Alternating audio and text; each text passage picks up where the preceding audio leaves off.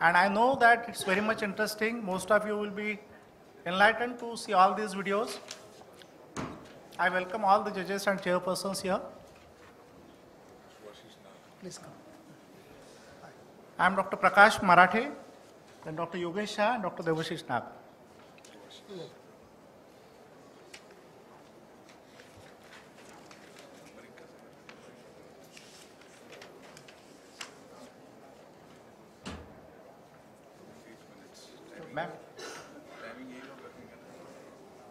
comes on the screen also.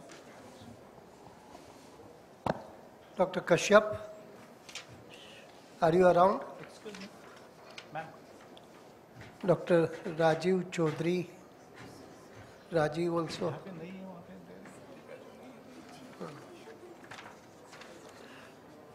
Dr. Rajiv from Indore.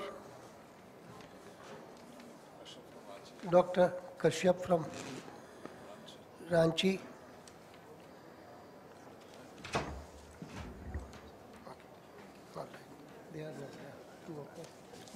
हम्म, राजीव नहीं है राजीव इधर दोनों इधर तो है। अच्छा अच्छा ऊपर के बोल रहे हैं? आई थॉट कश्यप को अभी मैंने देखा बैठा ना कश्यप तो इधर।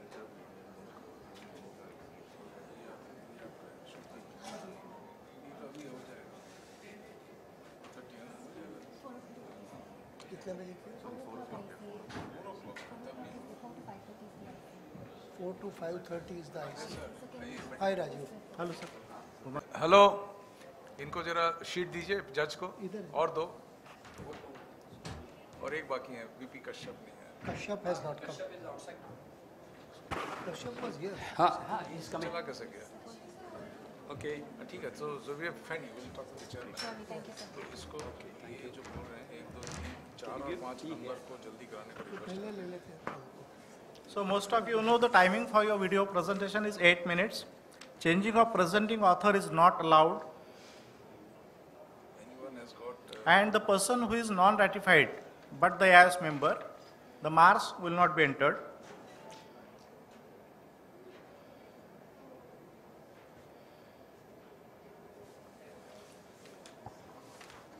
all the presenting authors, you have to come forward and uh, we have got a couple of requests that they are involved in ICs not very far away from this time. So anybody else has got any request?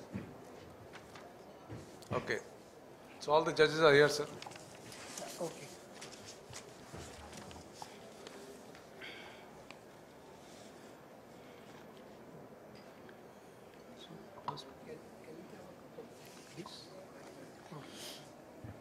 Coffee for me. Is the first presenter ready? They will be having- We should call by name? Dr. Sachin, No, Eh. Dr. Sachin, you are the first speaker. Okay. VT 26, Chief and Presenting Author, Dr. Sachin Mungale, Co-author, Dr. Meeta Birla Mungale. It takes two to tango.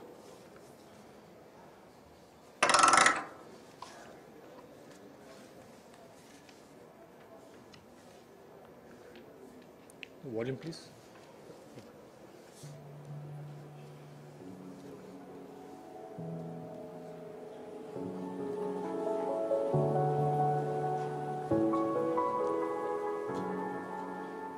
This video voiceover is done using a text-to-speech software.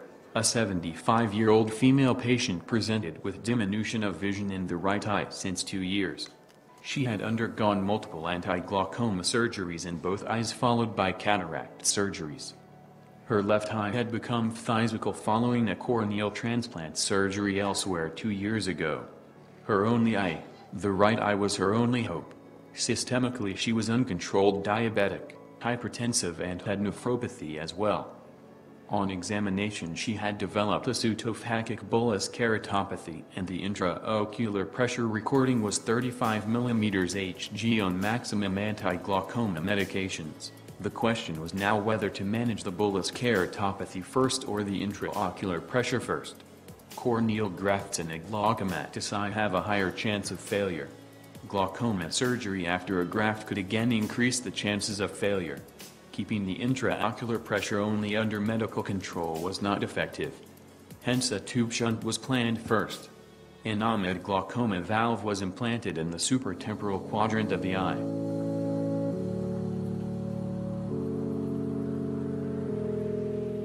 This is the postoperative appearance of the eye at two months which shows bully in the tube shunt in the supratemporal quadrant. Three months later Descemet stripping endothelial keratoplasty was done. The donor button was prepared by manual dissection. The cornea is mounted on an artificial anterior chamber and lamellar dissection is done using standard lamellar dissectors. Care is taken to be at the same plane throughout and not land up in corneal perforation. The donor disc is harvested later after evaluating the appropriate size for the recipient. The patient was taken for surgery under regional anesthesia under sedation. A temporal approach was chosen and the incision was made below the valve.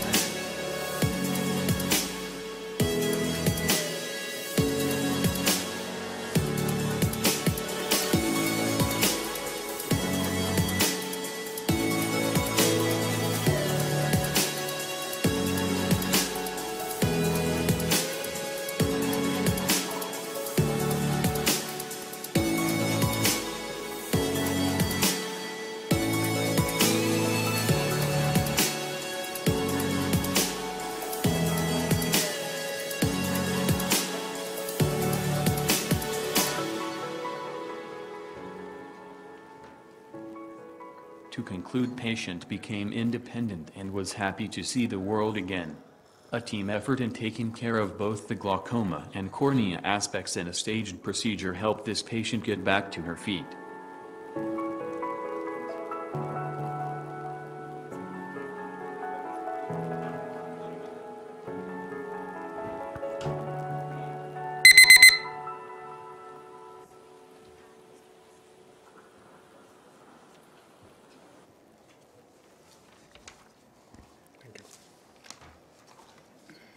Dr. Sachin, that was an interesting video. So what's the message?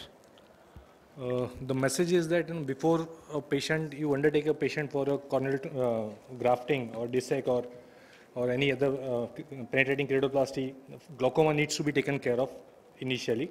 And it's better to do a two, two-stage procedure rather than a single-stage procedure. This patient had uh, undergone some other uh, glaucoma surgery in past? Yeah, multiple glaucoma surgeries. Uh, The superior portion was fibrosed. That- That's why the patient couldn't undergo a third um, trabeculectomy. Yeah, that's why the patient was, was taken for a tube initially. You had any problem in dissecting the conjunctiva in view of the past glaucoma Uh, surgery? Not really. Uh, The superior temporal part was little bit uh, uh, better. Available. Like after, after, normally I- what I do is I inject saline just to check the mobility of the conjunctiva. So it was, it was uh, freely mobile at that part, so I could do the valve over there. Any question from the audience? How, how long was the follow-up? The, uh, the patient has been following, uh, we are following the patients, uh, patients uh, since last two years. The patient is doing fine as of now. Yeah. Anything? Okay, that's it. So if it's fine, only I, this is not to be taken for judging. Yes. You made a pitch for Make in India. Yes, sir. Uh, This is I- a message, yeah, sorry, yeah. Yeah, I found your voice, act, voice over was un-Indian like. Yeah, accent. exactly. Yeah, I was coming, uh, coming to that. Actually, we don't have that software where we have an Indian voice for that. Okay. If, if possible, we would have done that, but uh, that's, uh, that was not there. Yeah, yeah. No, no, no, yeah, that, yeah. I knew this question was coming. I was prepared for that. Yeah. Thank you. Thank you so much. Now I invite the next presenter, Dr. Chirag Shidul.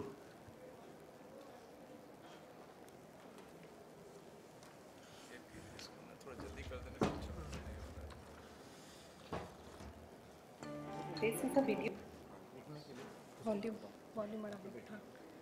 your presentation about surgical technique of optic capture in pediatric traumatic cataract. Optic capture of IOL is a technique in which IOL optic is fixed with capsulorhexis margin can be placed in the sulcus and optic can be captured with anterior capsule, posterior capsule or both. Alternately, IOL can be placed in the bag and optic can be captured with anterior or posterior capsule. Now why should we use this technique in children with traumatic cataract? This technique offers several advantages. It is a simple technique. It provides good centration and good anatomical outcomes. There is reduced risk of visual axis opacification and it can be used in most cases. First case is a 7-year-old boy who presented with open globe injury. Corneal perforation repair and lens aspiration was performed in the first sitting. Clinical picture shows anterior capsular defect with fibrosed margin and posterior capsular defect. In this video, we would like to show our preferred technique of optic capture where IOL optic is captured with both anterior and posterior capsulorhexis. At the beginning, 3 MVR entries are made. Adrenaline is injected to dilate pupil. Viscoelastic is injected in the anterior chamber as well as in the bag.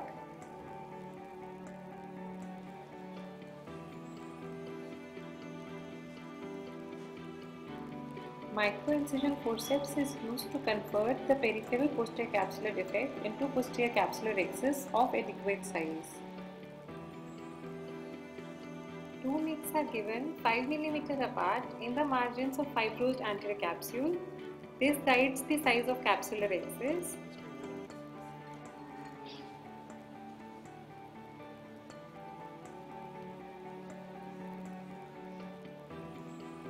These nicks are used to enlarge the anterior capsular defect in a circular fashion using micro incision forceps.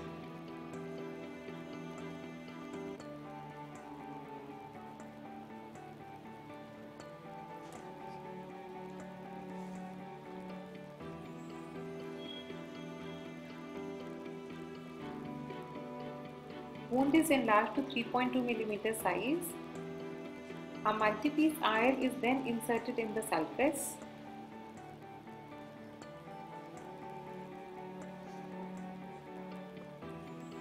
After insertion, the second haptic is carefully dialed in the sulcus.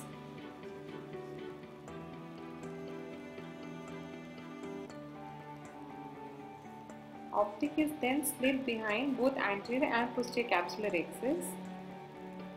This will cause both the capsules to fuse together later and prevent migration of lens epithelial cells and hence reduce VO formation.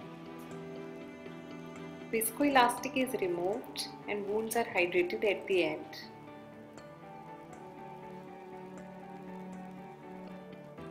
Second case is of a 4-year-old boy with repaired perforation and ruptured anterior capsule. UBM shows an intact posterior capsule.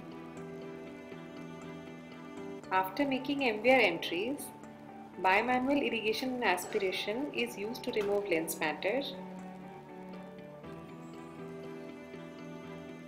Nick is given in the posterior capsule and the manual PCC is performed using microincision forceps.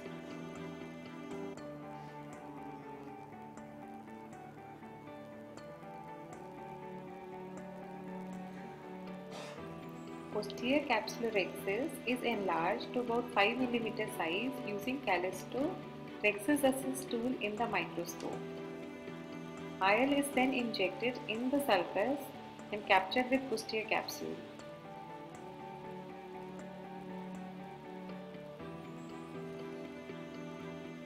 Similar steps are performed at the end. Third case is that of a 8-year-old boy with closed globe injury. Clinically, cataractus lens with intact anterior capsule is seen. UBM shows a large posterior capsular defect with lens matter behind posterior capsule.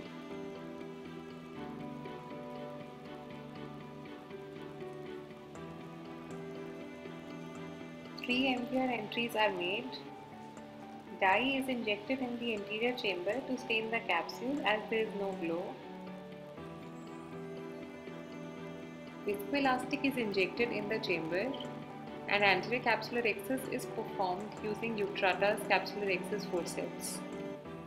Callisto ring is used for sizing. You can notice the capsule is regrasped multiple times to ensure a good size of rhexis.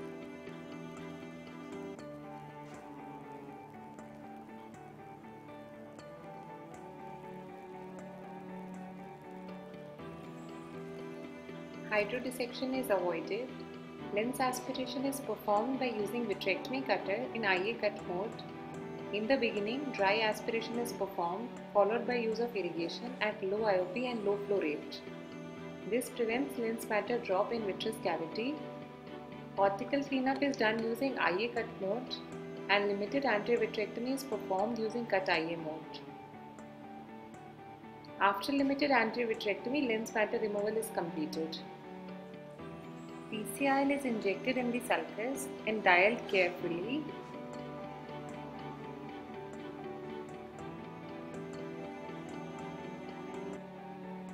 IOL is then captured with anterior capsular rhexis.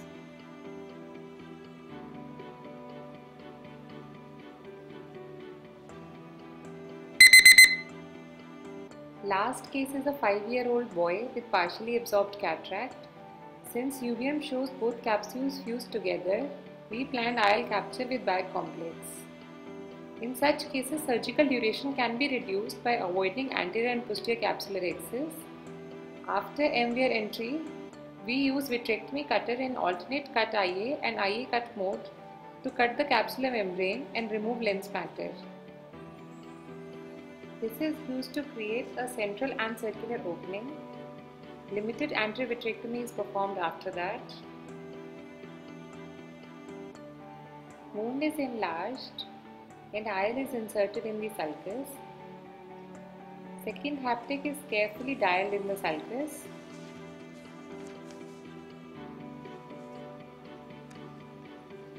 Optic is captured with the bag complex after dialing both the haptics in the sulcus. IOL should not be dialed after optic capture. Conversion of circular capsular rhexis to spindle shape confirms a good optic capture which can be used as an endpoint. We have observed good long-term outcomes with this technique.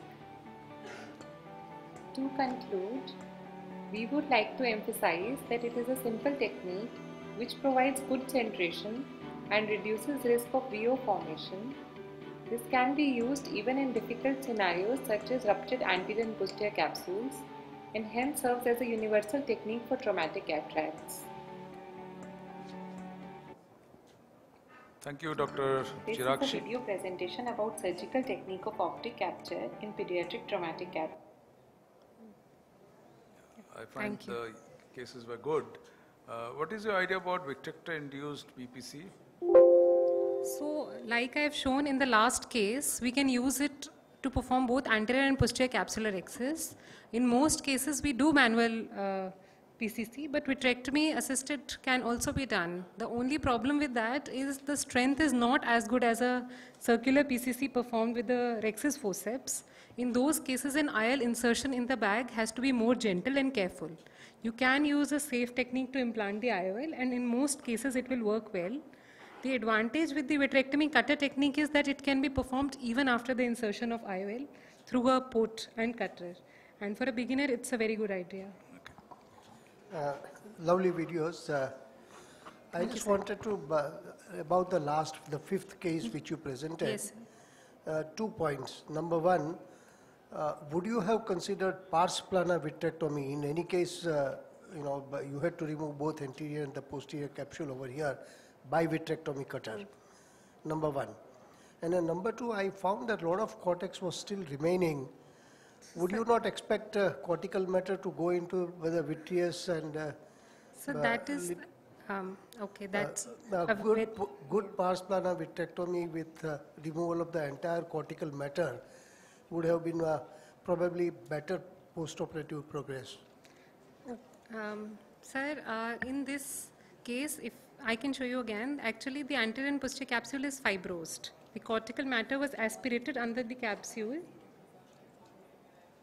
Uh, the cortical matter was aspirated from under the capsule and most of the cortical matter was taken out.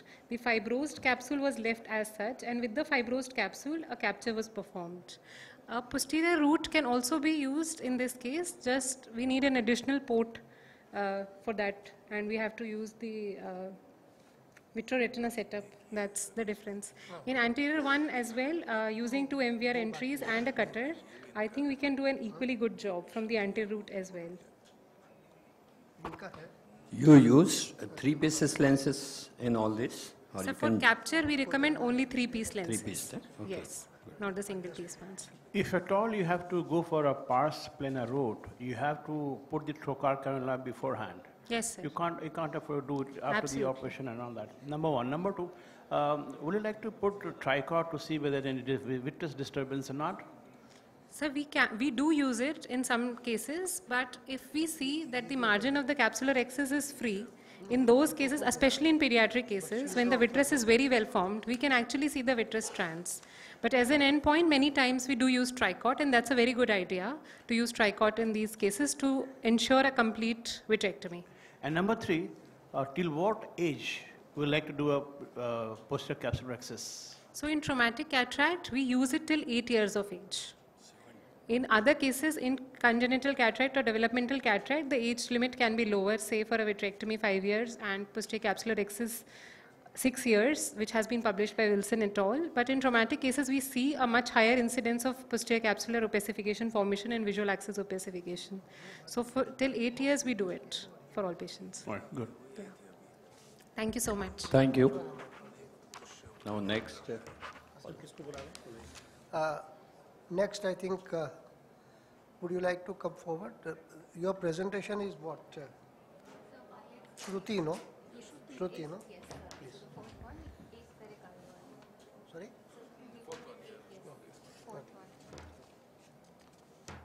So I think she, uh, she is Dr. Shruti Mahajan and co-authors are Dr. Ajay Khanna, Dr. Tusha Om Prakash, Dr. Rohit Om Prakash.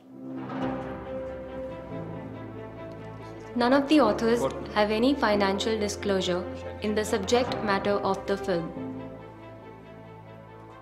Present day cataract surgery is fast becoming a refractive procedure with the aim to have no refractive surprises. However, we all have unhappy patients due to various factors.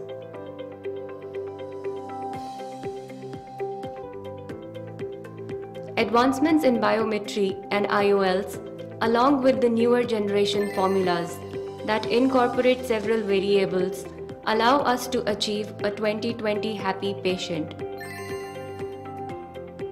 Of the reasons for refractive surprise postoperatively, capsular bag distension remains as a major concern despite the low incidence.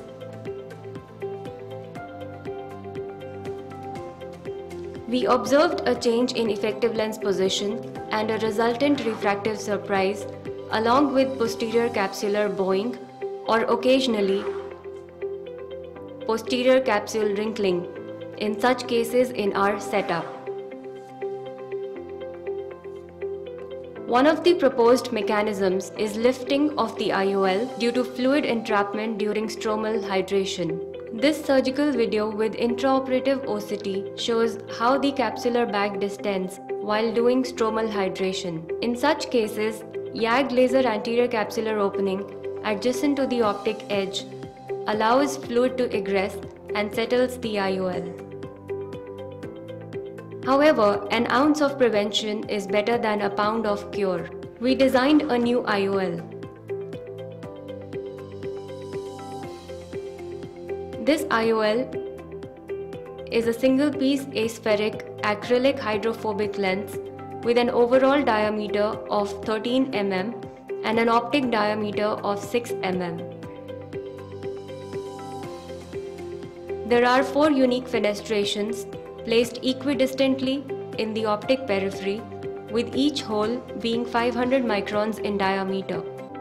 The surgical video during OVD aspiration shows how easily the OVD comes out through these fenestrations from all four quadrants.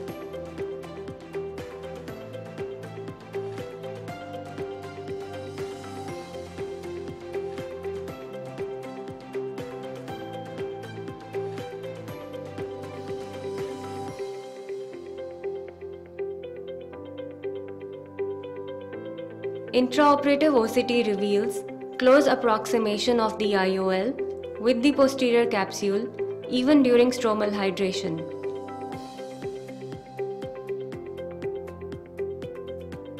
When we looked at other IOLs, there was a space between the IOL and the posterior capsule.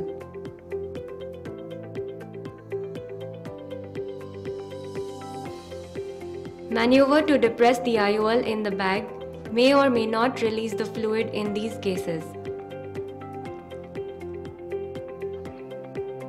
A recent study on intraoperative OCT revealed contact between IOL optic and posterior capsule occurred rarely at the end of surgery.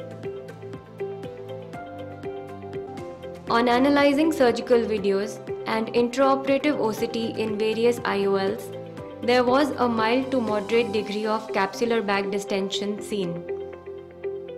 Surgical animation shows how the OVD egresses out from these holes allowing the IOL to approximate with the posterior capsule.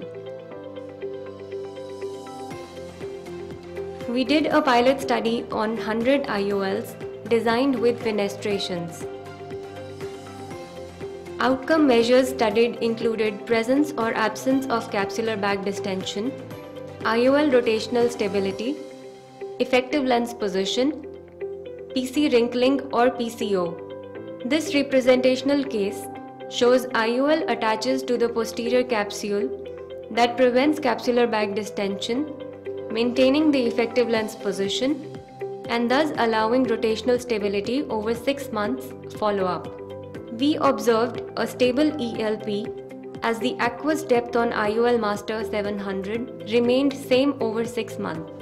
The change in MRSE was 0.02 demonstrating refractive stability. All the IOLs were within 5 degrees of rotation.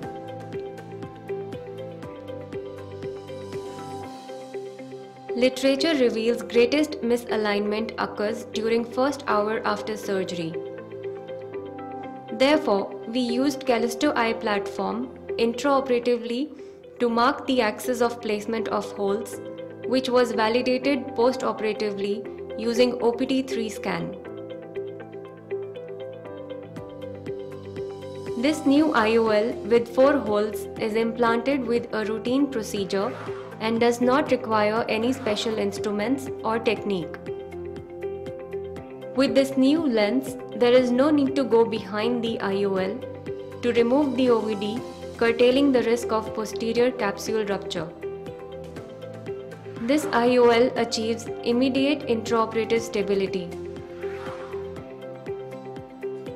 Over six months of our study, there is a rotational stability in all cases that is crucial in toric IOLs.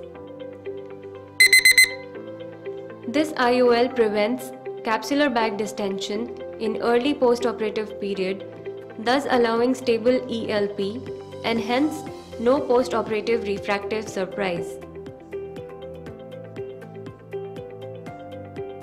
Additionally, there is no posterior capsule wrinkling seen that can prevent abrasions.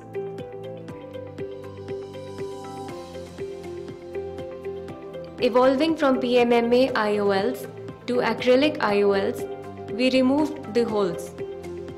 However, the holes of PMMA IOLs, as seen in this case, possibly allow prevention of CBD and thus minimal or no posterior capsule opacification.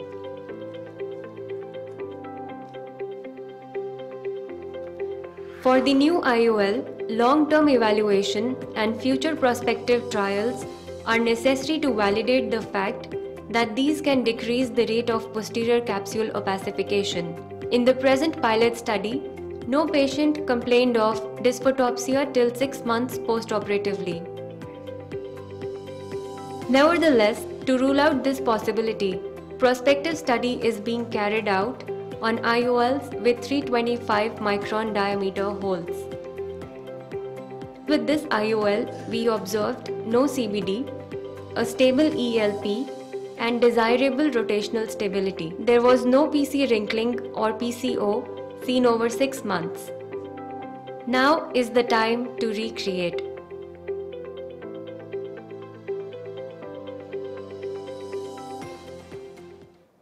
Thank you. Uh, Thank you very much. Uh, Few things, uh, the videos were very good. Thank you, uh, sir. Certainly very good, and analysis also was good. I just wanted to know, what exactly is the design of this lens? I mean, is it biconvex, plano-convex, plano-convex anterior, posterior? Or uh, uh, there is no, it's just a flat, uh, this thing? And is there any angulation? So it is as, uh, it's the same lens that we use. It's an aspheric hydrophobic lens with a biconvex structure. It's, uh, actually we can incorporate these holes in any kind of lens. No, So, that's uh, not the point which I'm, I just want to know where, what kind of a lens, whatever you have designed. This one was a biconvex, square edged. Biconvex. Square edged. biconvex with 360 degree square Square edge. edge. Yes, sir. And if it is a biconvex lens, uh, would you think that that uh, posterior curvature would touch the posterior capsule, but in between the 360 degree square edge and all that, the fluid will still be there?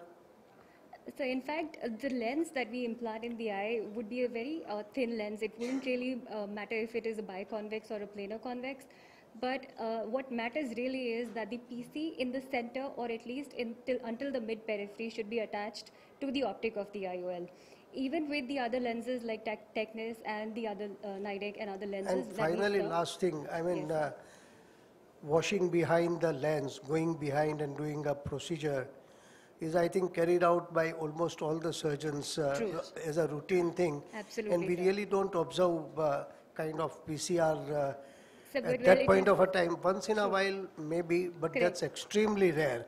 So True, for sir. that perspective, if you are thinking that uh, this, So uh, it's one of those aspects which can really be taken care of. It's not just the only aspect.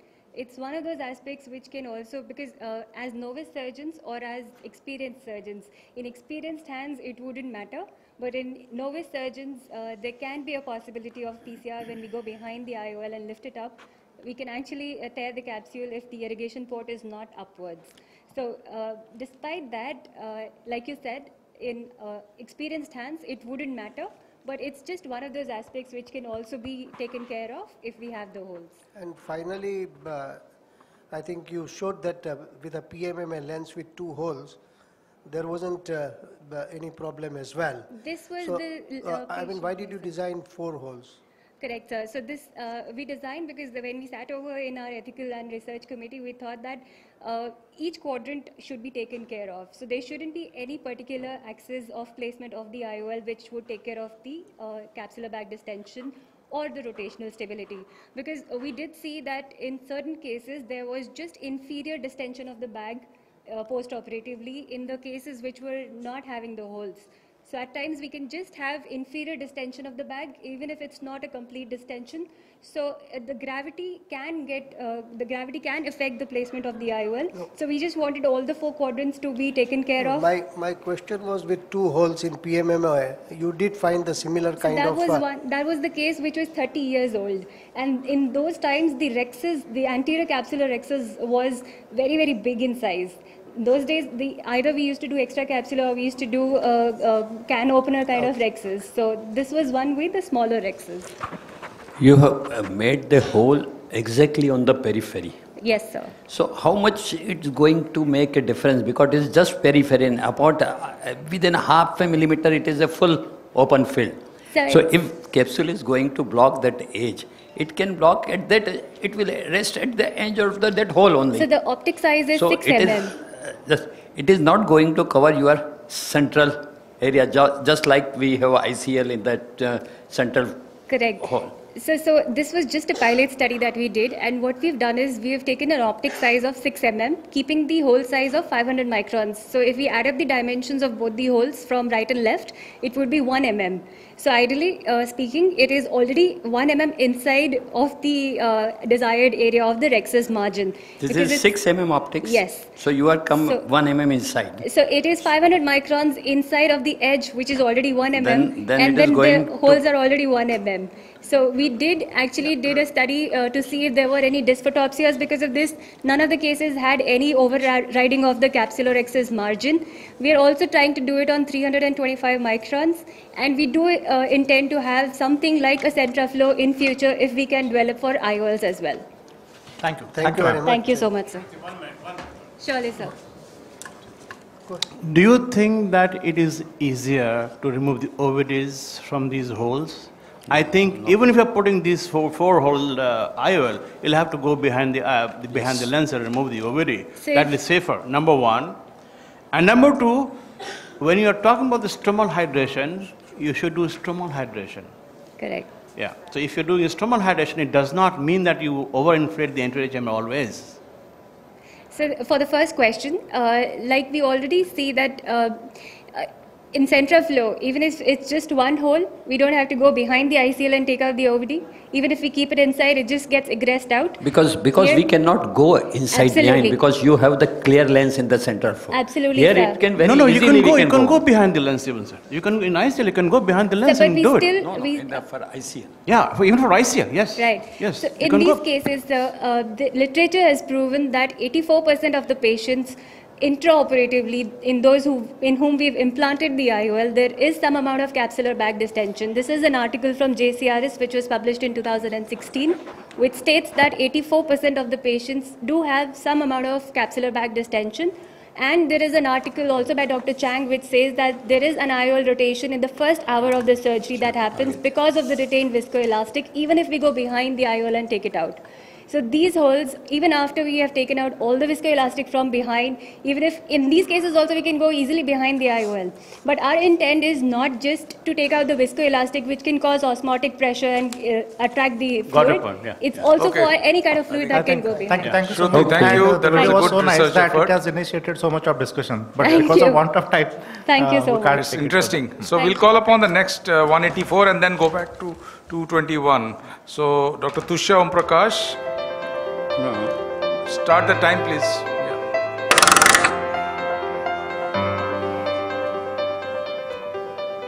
There are no financial disclosures in the subject matter of this video. Intraoperative floppy iris syndrome is a major intraoperative challenge for any cataract surgeon. It can lead to iris billowing, progressive constriction of pupil, iris prolapse, excessive fluid usage, posterior capsule rupture and nucleus drop. These problems give a lot of stress to the surgeon as well as patients and may result in suboptimal outcomes. IFIS is encountered in a good number of patients and the incidence of floppy iris or iris prolapse is high in patients on alpha-1 antagonists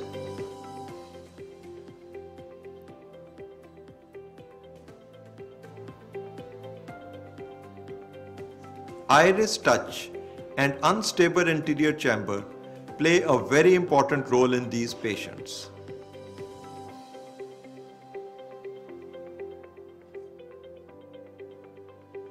Let's understand pupil dynamics to iris touch in a normal patient. An iris touch stimulates sphincter muscle contraction which is opposed by the strong dilator tone of the dilator muscle. There is minimal pupillary constriction. However, repeated trauma causes pupillary constriction. In patients using tamsulosin and similar drugs, the compromised pupillary dilatation and the iris billowing predispose iris touch which precipitates pupillary constriction because of weak tone of dilator muscle. We did a thorough literature search to find the missing link. The improper calibration of side port incision is one of the major precipitating cause. There was a flux of fluid to the side port incision with iris touching the side port instrument, thereby precipitating IFIS. Can we prevent IFIS with available knowledge? Can we minimize IFIS? Yes, we can. Calibrated side port apparatus is the answer with calibrating side port incision and instrument according to size and shape. However, there were a few challenges. There had never been calibration of side port incision unlike calibration of primary incision. There was a disparity in the shaping between elliptical incision and cylindrical chopper. There was a wound mismatch. Studies showed that side port incisions were predisposed to leakage and the side port leakage decreased with the size.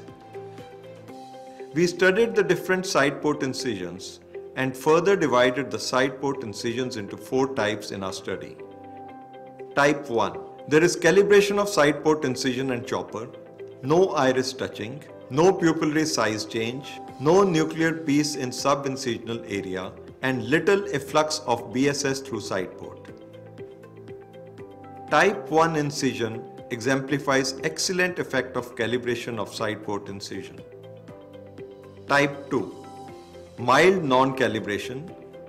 There is iris billowing and intermittent touch, pupillary constriction, occasional nuclear pieces in subincisional area, a flux of BSS through side port. Type 2 incision symbolizes mild non-calibration with traumatic miosis. Type 3. Moderate non-calibration. Intermittent iris touch. Pupillary constriction with peaking.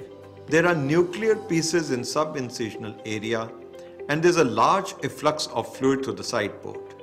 The increased mismatch in calibration causes faster pupillary constriction with peaking of the iris. The nuclear pieces get lodged subincisionally too. Type 4. There is severe disparity in calibration. There is continuous iris touch with subsequent iris prolapse. Nuclear pieces are there in the subincisional area and there is large efflux of fluid through the side port incision. There is a gross mismatch with continuous iris trauma and miosis. The aim was type 1 side port incision. We were already calibrating the sizing of our incision.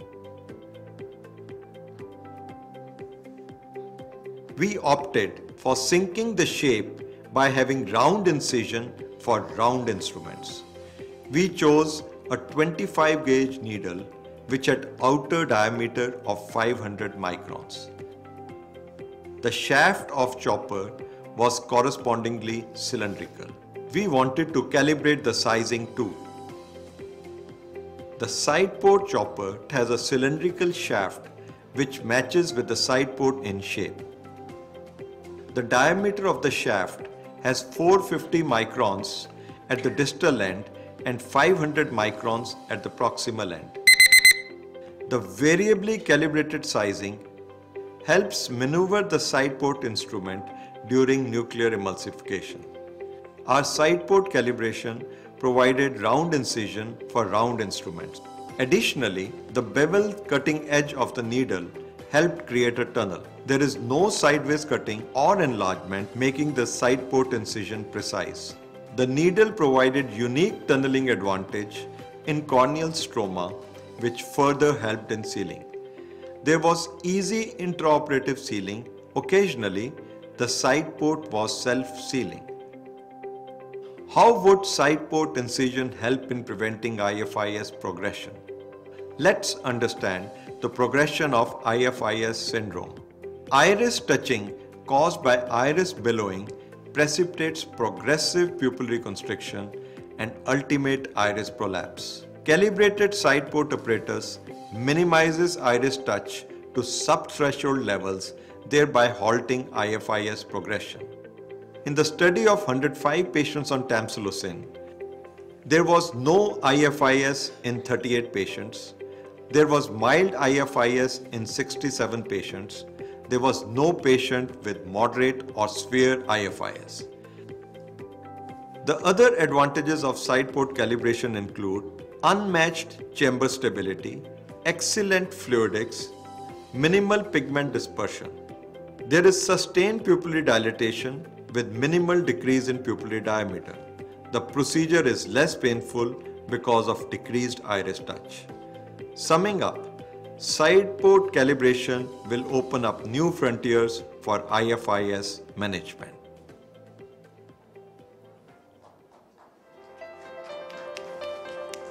Excellent, excellent video. Dr. Tushya, uh, your uh, 25 gauge needle, uh, you have used previously the blades, I believe. Yes, So sir. do you find any difference? Yes, sir. So, so basically, the blade when we use the blades, the sizing is not proper. With the 25 gauge needle having a 500 micron micrometer, Sorry, uh, that part we understand.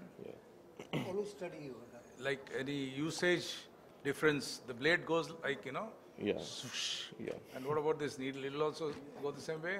it goes uh, in the same way. But the best part it is cylindrical in shape, and uh, the sizing is uh, perfect, and there's no variation. Uh, I- I think uh, I have already seen a live video as well, uh, Rohit performing the same. uh, Okay. uh, My, uh, my request uh, was, no, when you go to IA, once again you will have to enlarge the incision slightly. So uh, people who are doing coaxial, uh, they don't have to. Correct. Yeah. For so we those- have been doing coaxial. I know, Rohit goes for coaxial, I, I have seen that live video, but those who are doing a bimanual, they have to remember that they will have to enlarge Then they the have to enlarge, incision. yes, They will have to enlarge both the incisions. uh, And at times it becomes, you know, for a beginner, difficult to enlarge the incision because to find that particular plane itself becomes a little difficult. uh, It's, it's uh, usually so small, 500 microns, that you can make a new incision. And uh, so that's not all. Uh, what is the length of the incision? So length of the incision is, uh, it depends how long tunnel you want, but usually. No, no, matlab, how long it is depend, should be some ideal now, what 1 mm we take usually. Yeah, one. So if it is too tight, so there will be slight indentation when you maneuver the chopper. That's why the sizing of the chopper, uh, we have done two studies where one in one chopper there uh, the uh, proximal end and the, the distal end is 450 microns and the proximal is uh, 500 and the other one we have 400 and 450. So there is definitely a better maneuverability in a smaller uh, Smaller chopper, one. but uh, we can use both depending upon the surgeon's. And these are the round incision. The chances of leakage of round incision are comparatively more as compared to your uh, horizontal flat incision because initially sub 1 mm phaco which Amar used to do, it was not possible because they were used to leak later on. So what is your experience? The size of the incision is so small that. So whatever, if it is round, it will. Yeah, so So what is your experience? Because we So cannot comment Our on your. experience, we, we, uh, there is minimal leakage. And uh, because the chopper snugly fits into the uh, inc- incision site, there's hardly, very less leakage. No, during surgery it's okay. Yeah. Post-operatively, because then It, it, it, it is self-sealing even intraoperatively al- also.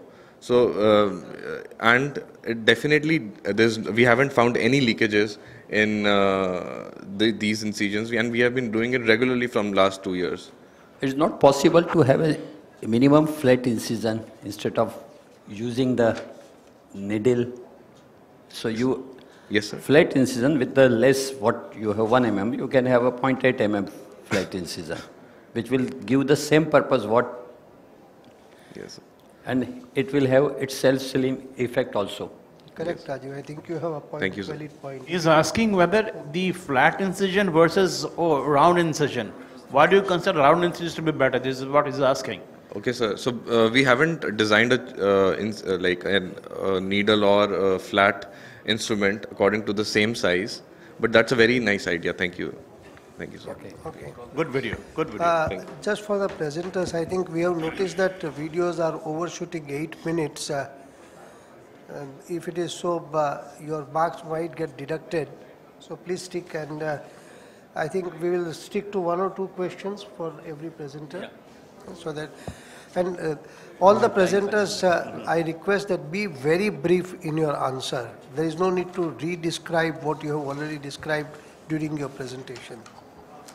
Okay, so we go back to Dr. Siddhartha Ghosh. He will have his video number 221, Paradise Regained.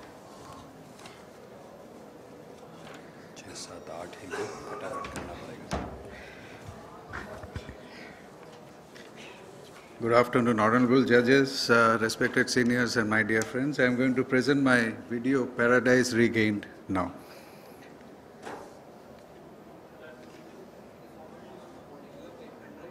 Video. I had sent it before.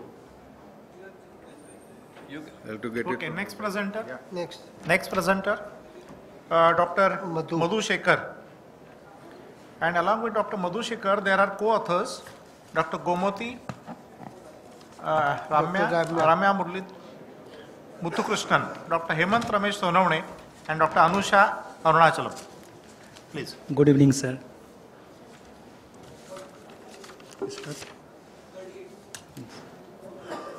Here, I present a video of iridodialysis repair in phacoemulsification.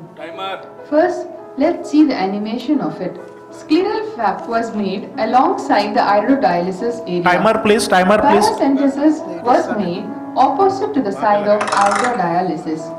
A double arm needle was passed through the paracentesis, then through the iris root and docked to the 26 gauge needle, which was passed under the scleral flap. Both these needles were pulled out along the sutures. The procedure is repeated for the second arm as well.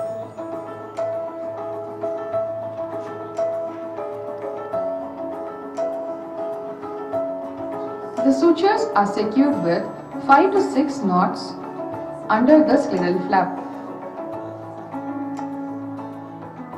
Our first case was traumatic cataract with iridodialysis following blunt trauma. The patient had symptoms of glare and monocular double vision.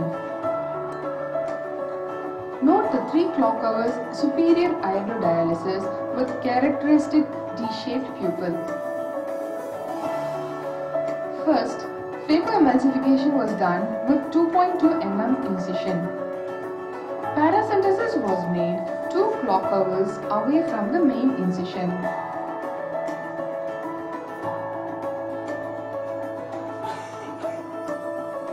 Anterior chamber was filled with cohesive viscoelastics. Iridodialysis area was supported with two iris hooks.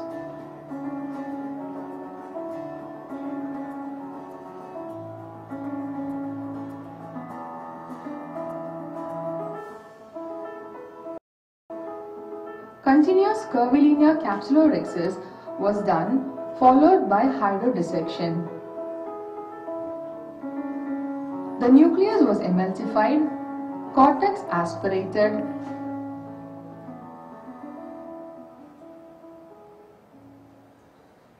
and a single piece foldable acrylic intraocular lens was placed in the bag.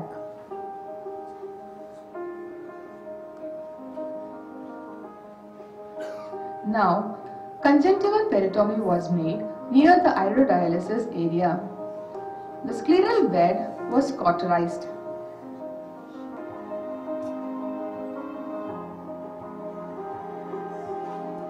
Limbal based partial thickness scleral flap of 4 into 4 mm size was fashioned.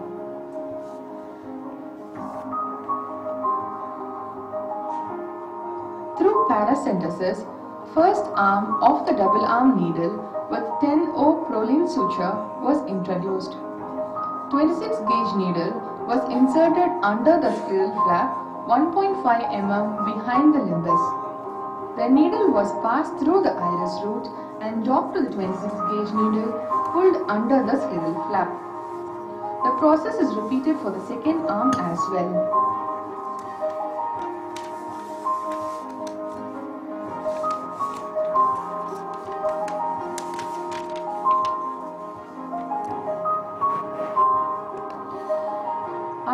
Spatula was used to reposit the iris.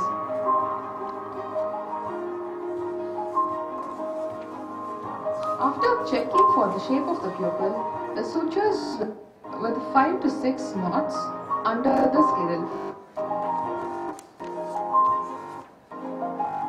Continue closed 8O Vicryl sutures.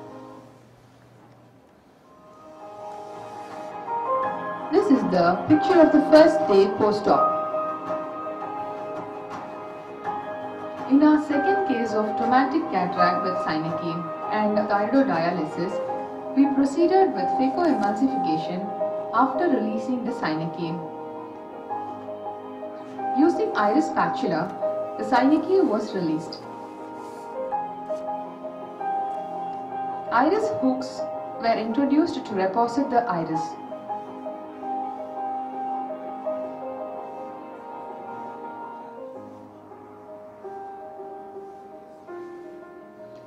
During capsulorhexis, a difficulty was noted due to zonular weakness corresponding to the area of iridodialysis. Iris hooks were transferred to the capsulorhexis margin to support the bag at the zonular weakness area.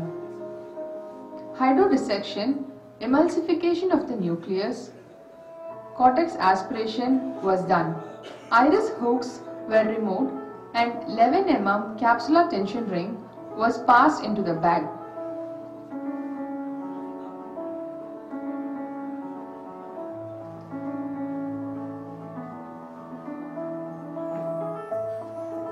Single piece acrylic IOL was placed in the bag.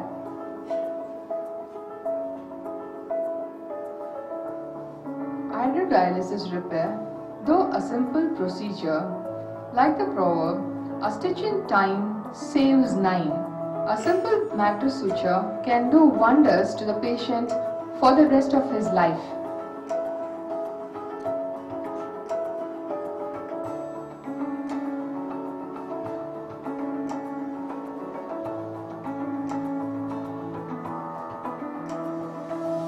Both the patients experienced glare and monocular double vision as a consequence of iridodialysis. But timely management, we were able to relieve the patients from their nagging symptoms. So, the take-home message is the quality of vision is as important as the quantity of vision. Thank you. Thank you, sir. Yes, sir, please. Uh, What do you say about the difficulty in handling the long needle while you're putting it inside? The long needle of the stitches? Yes, uh, I found it was slightly unstable when we are going inside the anterior chamber. So now I have slightly modified. I am making my side port slightly closer to our dialysis area and making it slightly curved in uh, uh, now what we am I'm practicing. And I can find that you are very lucky that uh, well, while you are piercing the iris, the iris is not moving so much, so they can pierce it. Otherwise, you know, when you pierce the iris, the so- iris keeps on moving, and it's very difficult to pierce the iris by the Yes, needle with, with, the with this 26 gauge needle, you can support it at the base of your iris root and you can easily uh, pass your needle through that. So this needle 26 gauge needle act as a support system. You can support at the root and then you pass. So your iris will be stable in that. Right, very nice video. Thank you, sir. Siddhartha, are you ready?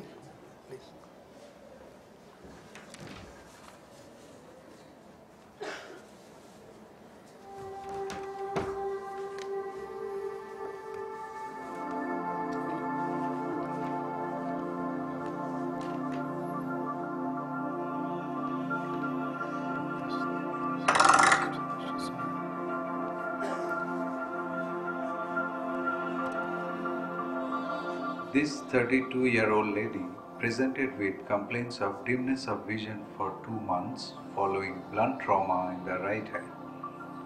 On examination, her best corrected acuity was 1 by 60 in the right eye. She had more than three quadrants of iridodialysis and a dislocated and cataractous lens with ruptured capsule in her right eye. Adequate conjunctival peritomy is done.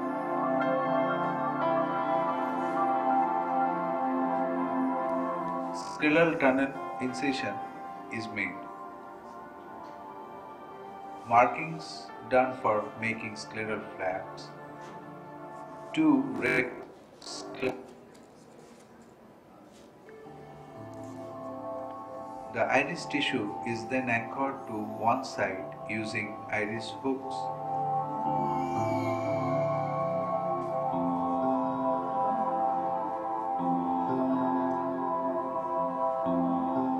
Vitrectomy and lensectomy was then done to remove the dislocated and ruptured cataractous lens.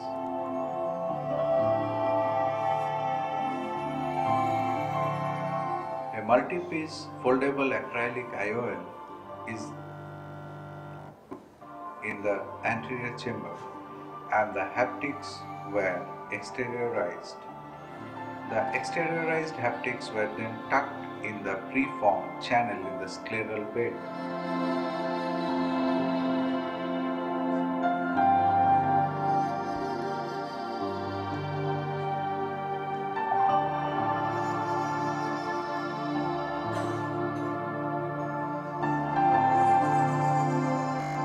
The iris hooks were then removed to facilitate repair of the iridodialysis.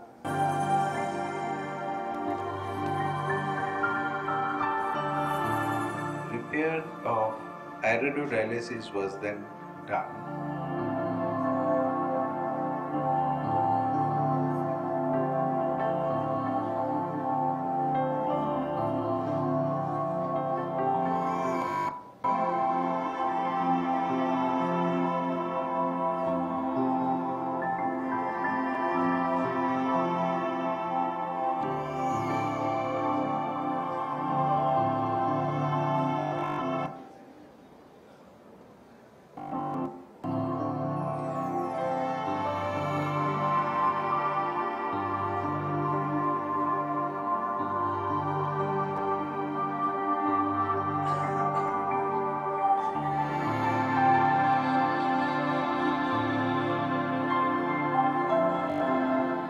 Times, slip knots were used to anchor the.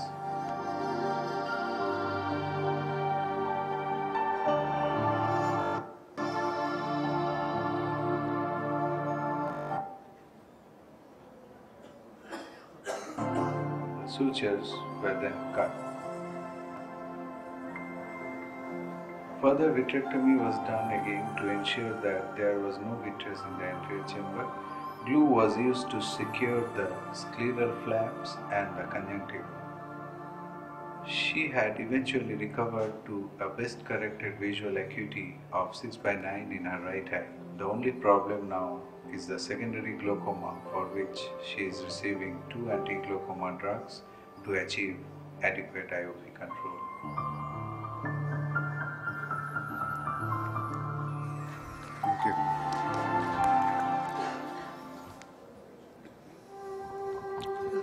Lovely, Siddhartha.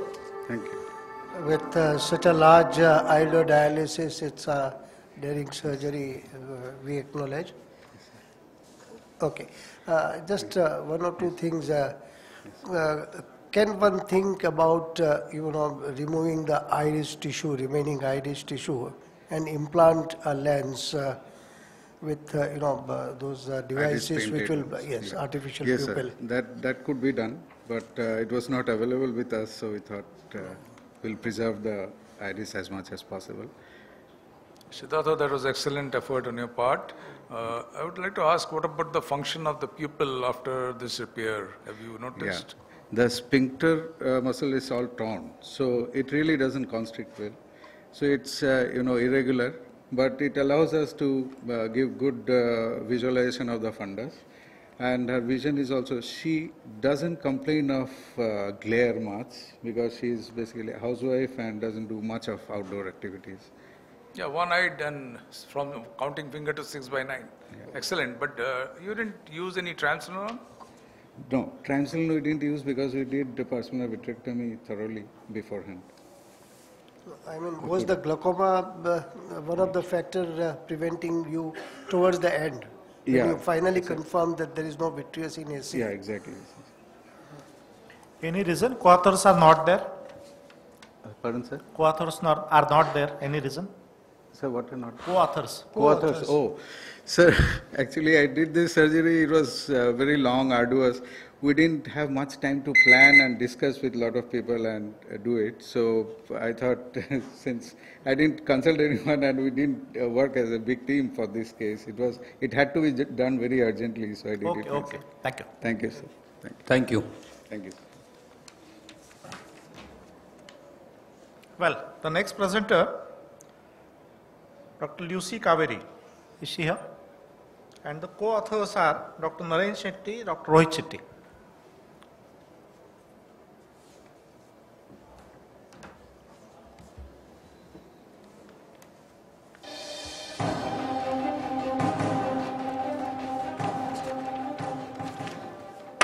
Surgery has now attained the status of a refractive procedure. Our patients have become more demanding and therefore it is necessary for us to target the bull's eye in our IOL power calculations. Cornea plays an important role in this process. It determines the optical performance of the theoretical eye model. Different shapes of the cornea alters the aberrations and thereby the visual quality of the eye.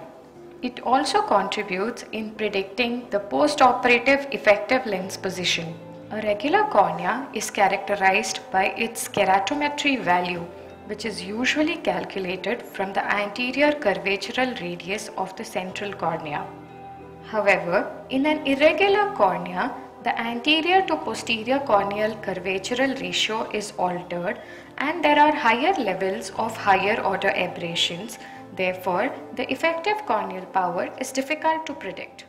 Our video highlights a step-by-step approach to tackle the difficulty in IOL power calculation in irregular corneas. The first step is to identify an irregular cornea. The significance of the corneal irregularity on optical quality can also be assessed by a rigid gas permeable lens trial.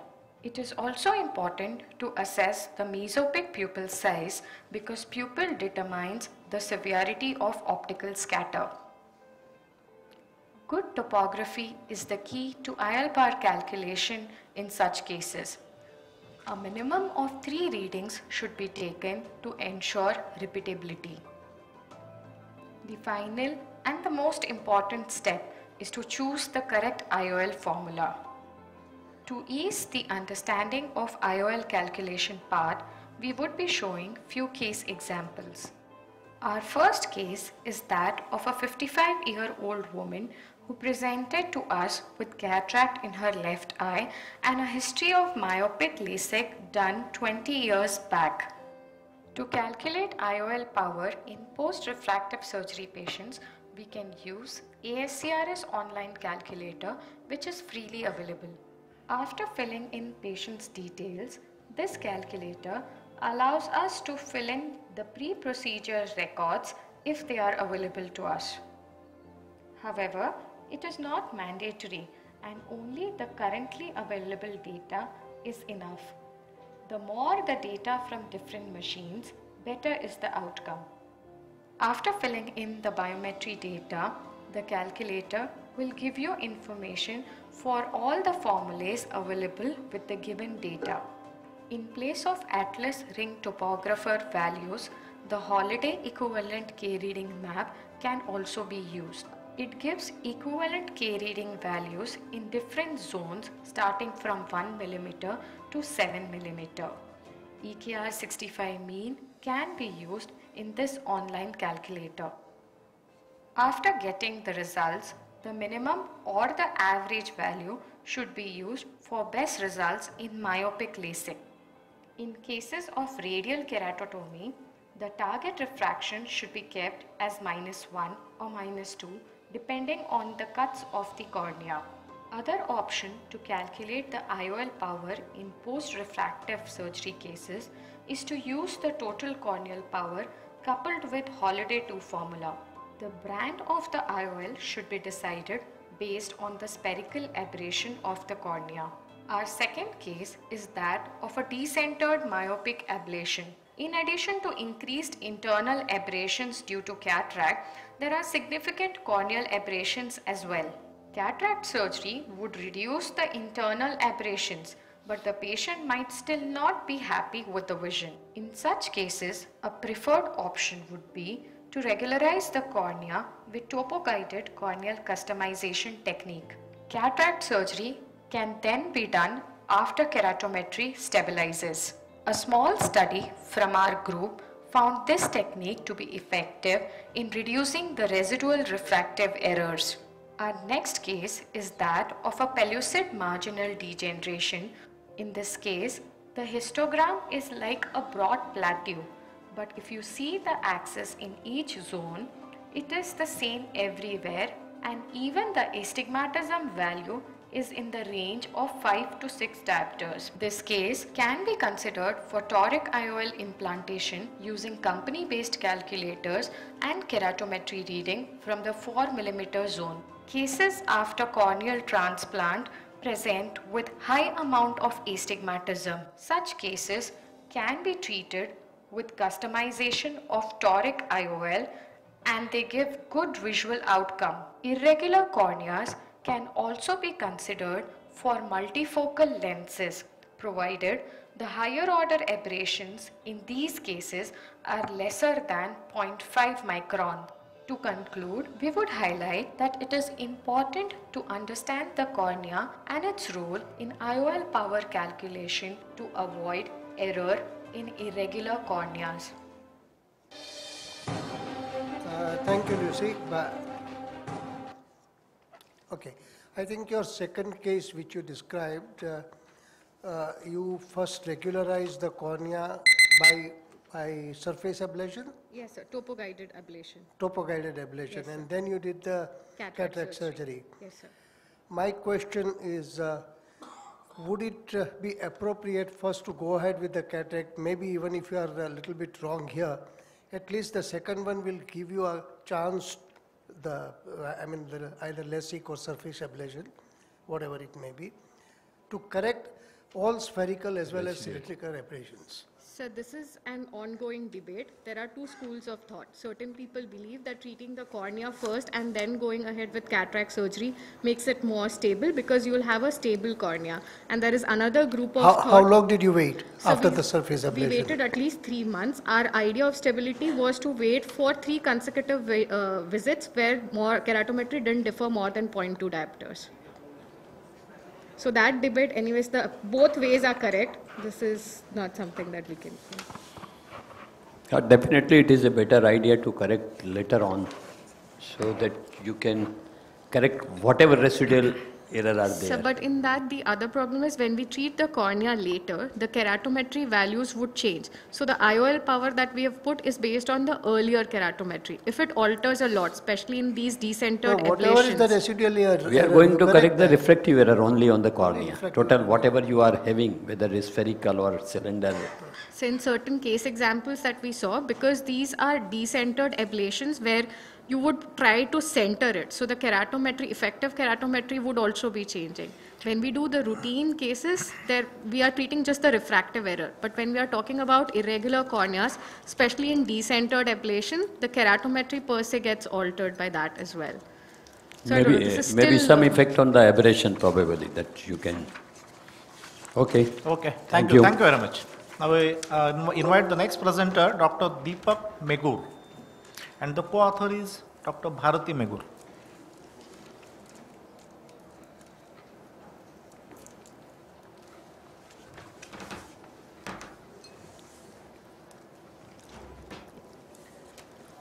Absent कौन है इसको add किया तो बोले absent है कोई इसलिए इसके पीछे भी है नहीं सर इसके पीछे ये क्या है नहीं नहीं एक मिनट एक पत्ता था uh, you just start.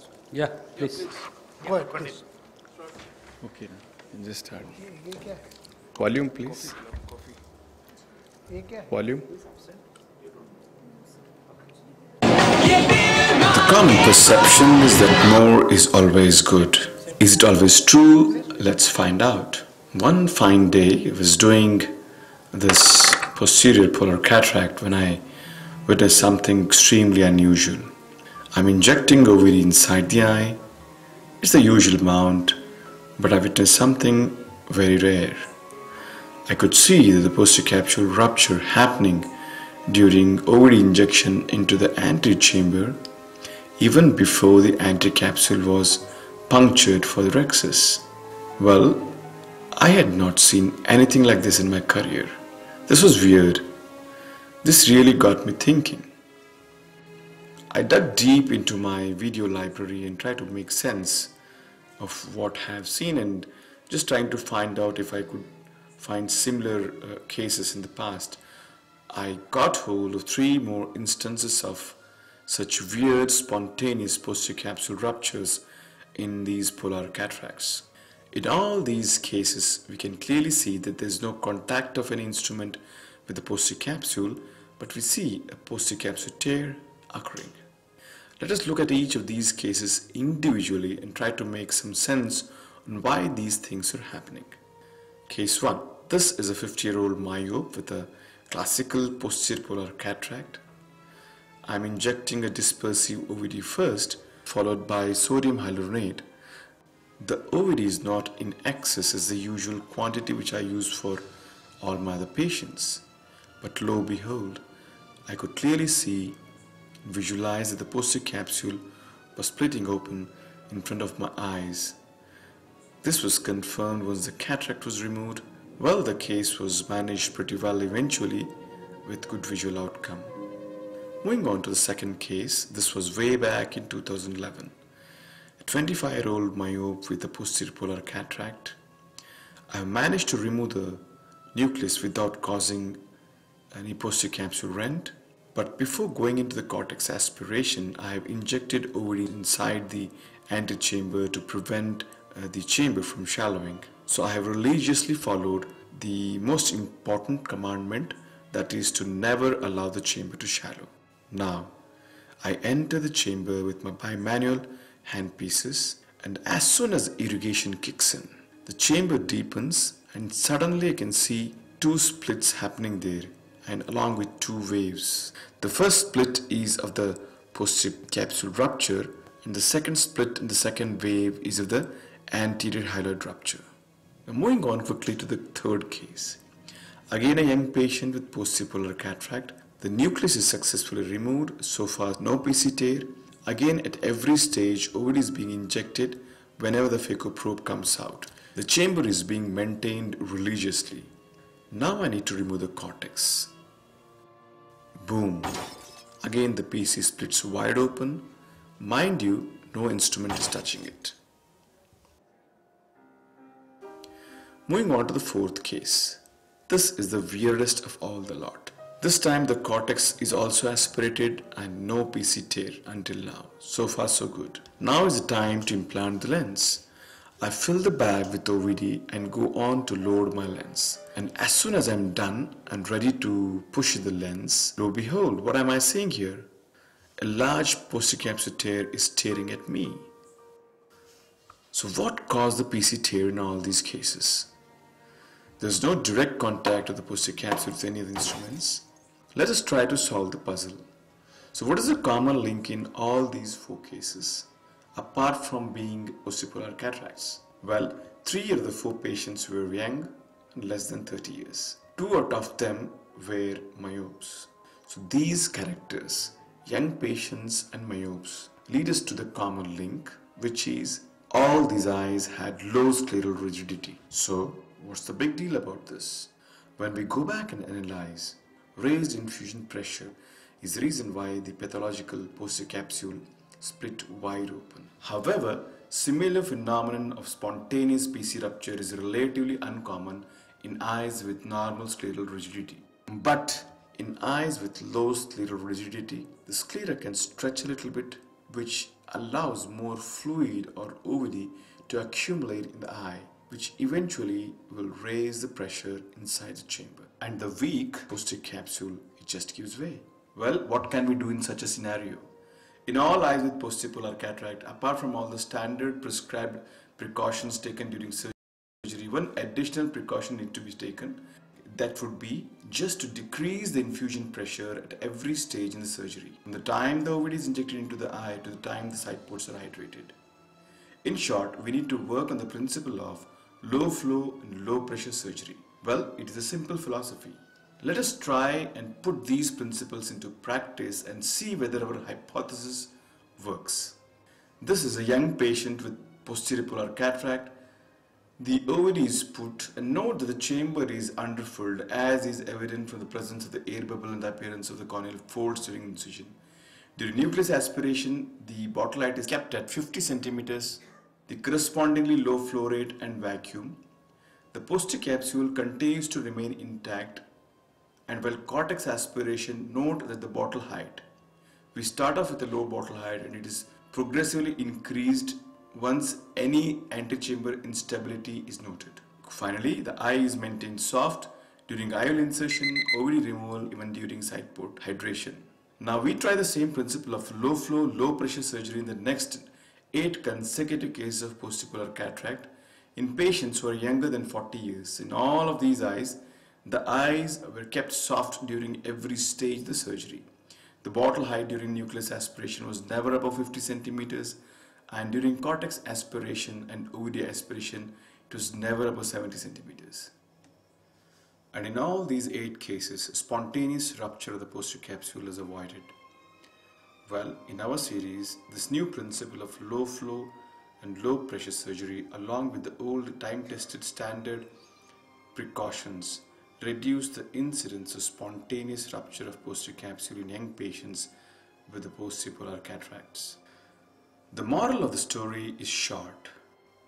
More is not always good. Traditionally, we are all taught to be so obsessive on maintaining a deep chamber during cataract surgery to avoid surge.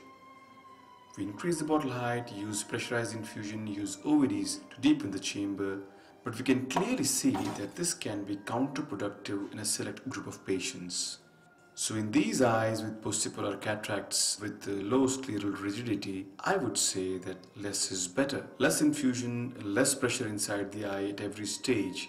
That's the way to go. To conclude, low flow, low pressure reduces the incidence of spontaneous posterior capsule rupture in these vulnerable eyes. So next time, please do watch the bottle height. Thank you so much. Wonderful. I think this was a wonderful presentation considering posterior polar cataract problem is faced by many ophthalmologists. And with this particular solution and with this take, uh, takeaway message, take home message for all of us, probably it will be nice thing to avoid PC rupture. So important remarks from the stalwarts here on the Uh. Can I add to it, sir? Sir. Uh, I think to my best knowledge, we, it, it, what we are trying to say is stabilize the chamber and prevent sudden hypotony. We never recommend that you increase the pressure in the anterior chamber. Whatever you described, all the three cases or four cases, there was sudden increase in the pressure. Maybe in a people with uh, you know younger age and the scleral rigidity was a different thing. Uh, that point well taken, very well taken. But in general, it's not that uh, uh, mm, uh, we inflate the chamber.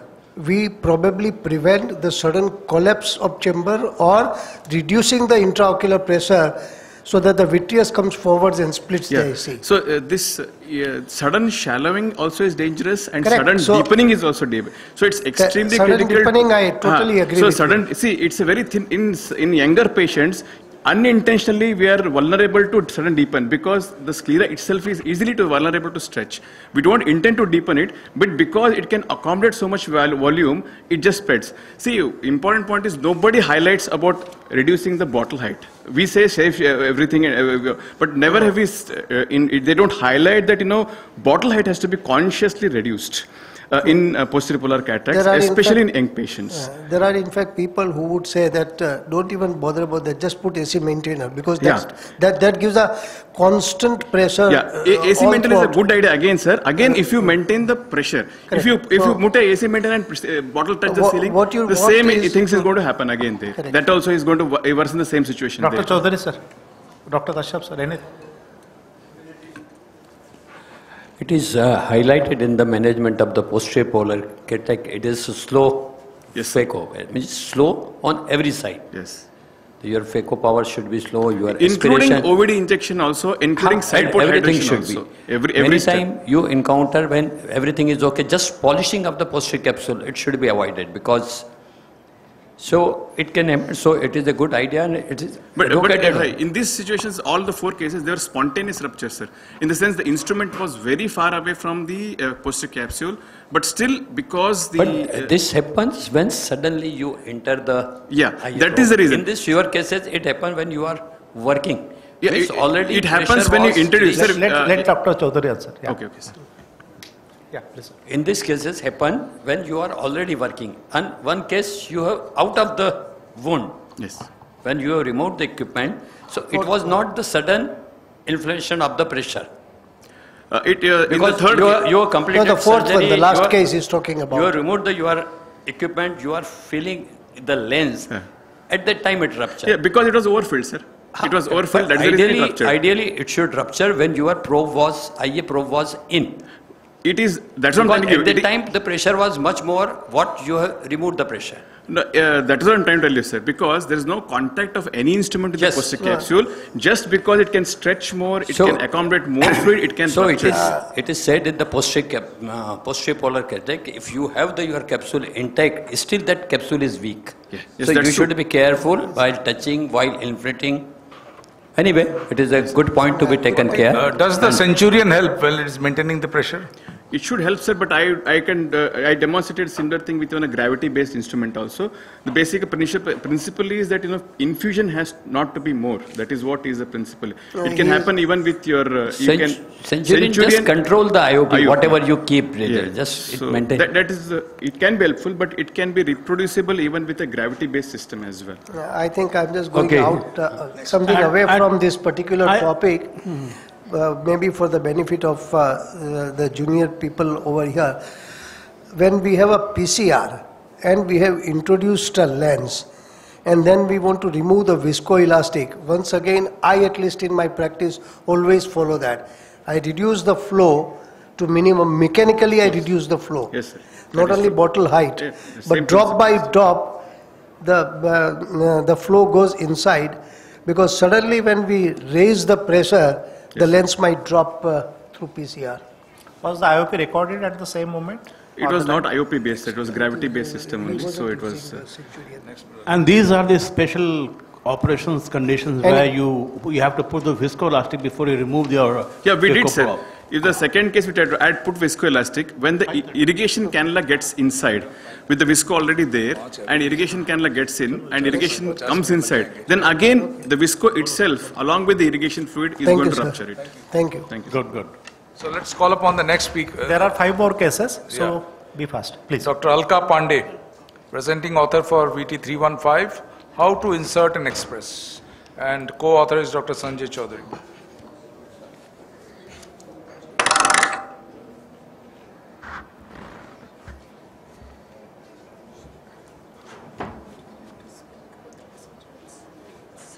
You can speak, you can speak with that. You can speak, no, You can speak with that. better.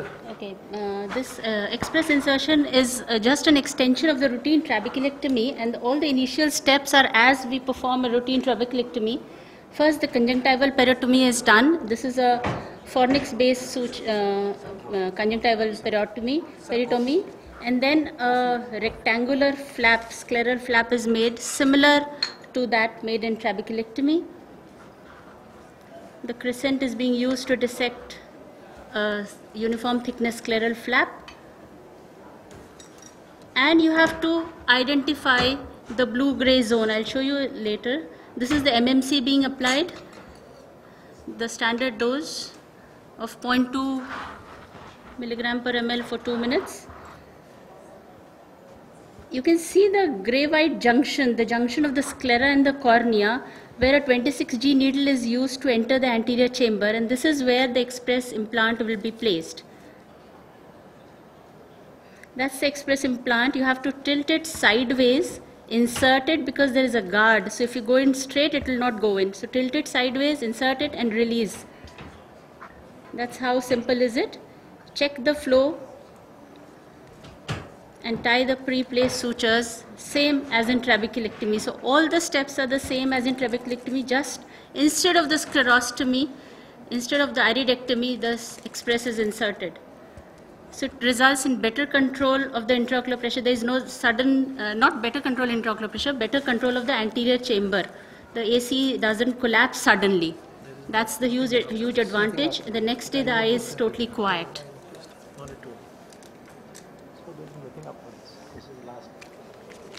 This procedure is especially useful in high myopes where there is very high risk of sudden chamber collapse. It doesn't start. It will never start. So that's the express, that's the glaucoma filtration device you can see. And two releasable sutures are placed. Okay, that was quick. So what's the comparative thing, you know, between, you wanted to say only how to insert, but uh, other message? No, the message in the, is this, the, uh, if you compare it with a trabeculectomy, when we do a sclerostomy, there is a sudden collapse of the anterior chamber. But in this, the, the only advantage is the anterior chamber does not collapse because you're not puncturing the anterior chamber, eh, you're not making any opening in the anterior chamber. So that's a very big advantage in high risk cases where uh, if the, uh, there is advanced glaucoma cupping, sudden AC collapse should be avoided. That's an advantage. What is the reduction in IOP you found? The reduction in? IOP is exactly equivalent to that, that in a trabeculectomy. And complication rates, what are? Complication rates are absolutely, they are very less. The, uh, the routine complications of the MMC could be found, but the uh, next day post-op, the anterior chamber is more formed. I have just seen one case of very shallow uh, anterior chamber post-op routine, but otherwise none of my cases have got uh, shallow ACs. Dr. Alka, how many cases have you done? I have done 35 cases. Okay, so let me tell you my experience. Yes, sir. There can be a migration of these va- valve, number Yes, one. And number two, if the patient has got glaucoma, so there might be some amount of, you know, weakness at this uh, blue zone.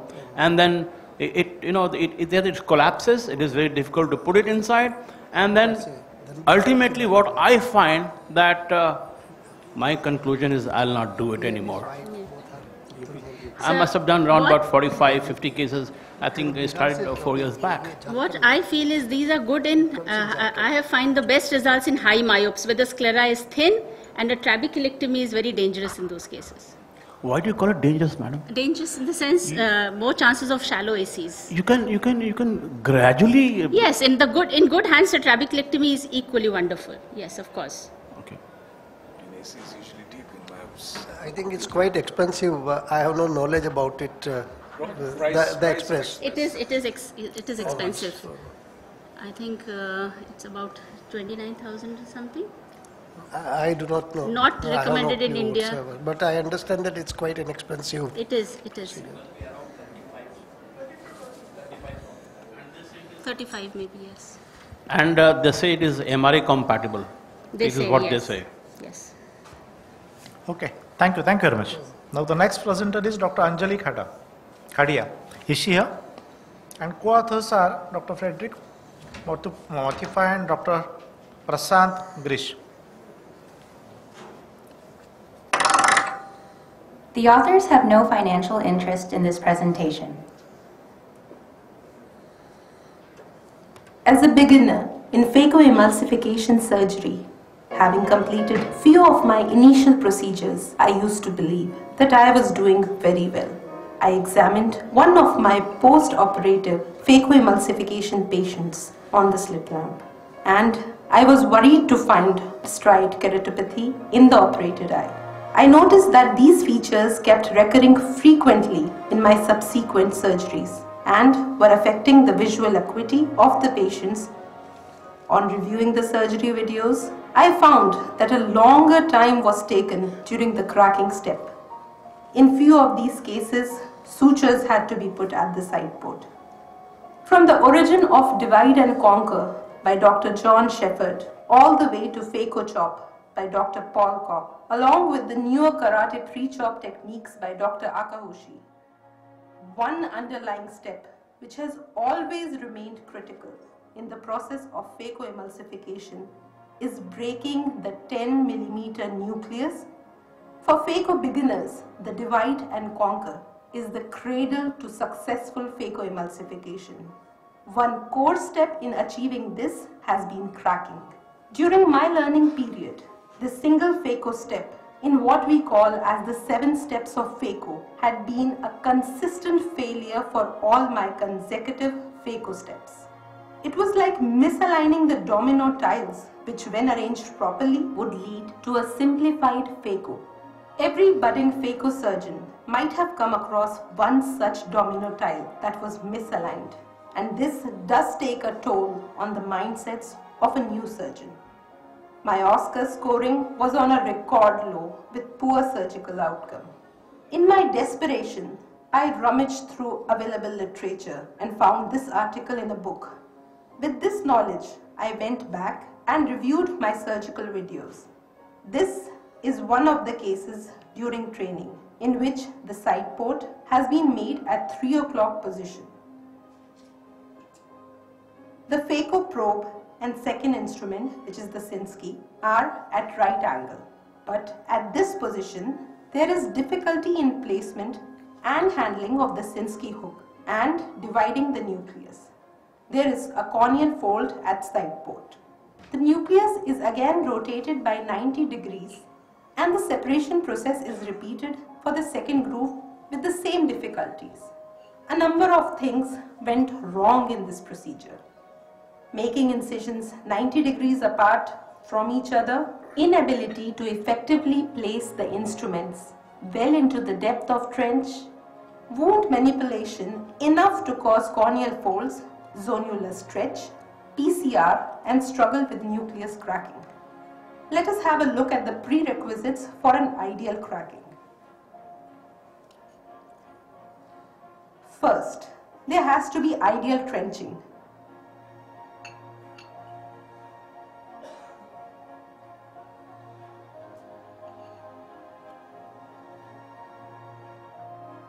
The ideal trench is one with adequate depth, adequate width and adequate length.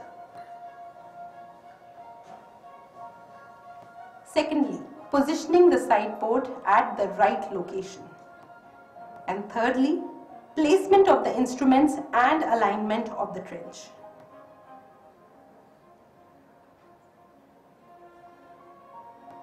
This results in an ideal crack with equal sized quadrants and reduce dissipation of unwanted ultrasound energy. Properly placed incisions are treated gently with no corneal folds enabling effective sealing of the wound. As a phaco beginner, I would like to share my experience with an alternative technique that did wonders to my consecutive phaco steps. We have made a slight modification to the previous technique to achieve cracking with relative ease. Here, we make a side port incision at 2 o'clock. Main port and side port incision are approximately 60 degrees apart and groove is placed around 30 degree. Here the groove has adequate depth and length and we found that we could easily place the second instrument. The probe is placed on the wall and second instrument is moved outward. Effortlessly, the nucleus is divided into pieces and there is no corneal fold at side port and no stretch on zonules. At the end, we obtained a nucleus that had been divided into four separate pieces, each of which could be easily phacoemulsified.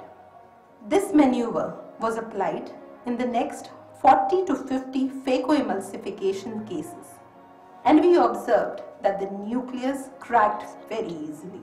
The phaco time was less, there was good wound stability, the average surgery time was less, saline usage per case was also reduced.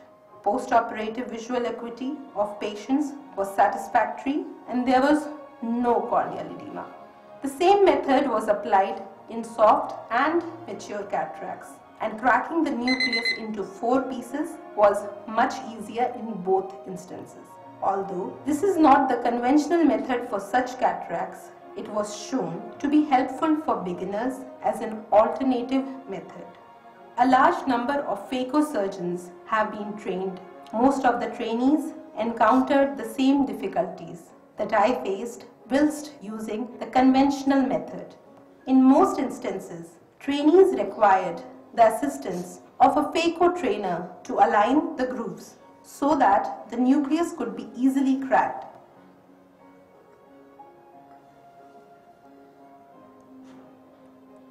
We taught this maneuver to 16 phaco beginners and found that they had a shorter learning curve with better results.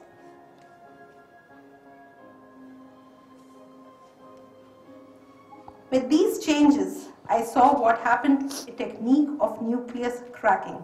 This not only improved my Oscar scoring to more than 85, but also made great changes to my phaco approach.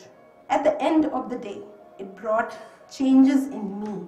With guidance from my seniors and my own experience, it made me more confident to tackle most phaco cases.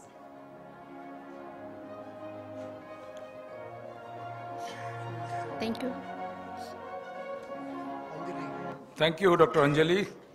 You really deserve an Oscar for at least admitting your where you went wrong and sharing it with the audience. That I find most courageous. And of course, the part you showed, you know, going back to the basics, the vector where, you know, the, the vector lies where you want the break to be, crack to be. So that's very, you know, important for the beginners. And the message is very clear. And uh, some experienced phaco surgeons also here. Dr. Rajiv? Definitely uh, uh, good presentation and you highlighted the importance of some basic things. We, when we move forward, we sometimes miss the basics, which is you highlighted. It's a good for the beginners. Thank you, But sir. uh, I'm not sure, you said soft cataract also. Does it, is- work really? It is only uh, shown to the beginner only how to that. uh, One of, one of the, another point, you have said that in cracking that angle, sometime if you can cross-check, crack, opposite, then the angle may not be so important. Yes, sir. It is important when you are separating horizontally. If you cross it, probably that angle will not be an important one for that. Thank you, sir. Yeah, I think just to add for the audience, uh, Divide and conquer, yes, she has explained uh, everything in detail, but uh, primary chop possibly would uh, go one step further ahead. It would reduce the time, energy for beginners also. I mean, uh, once you learn the right technique of uh, chopping, it's not really all that difficult. Thank you, thank you, sir. Thank you very much. Uh, Now I invite the next presenter, Dr. Sujata Mohan, and co-author is Dr. Mohan Rajan.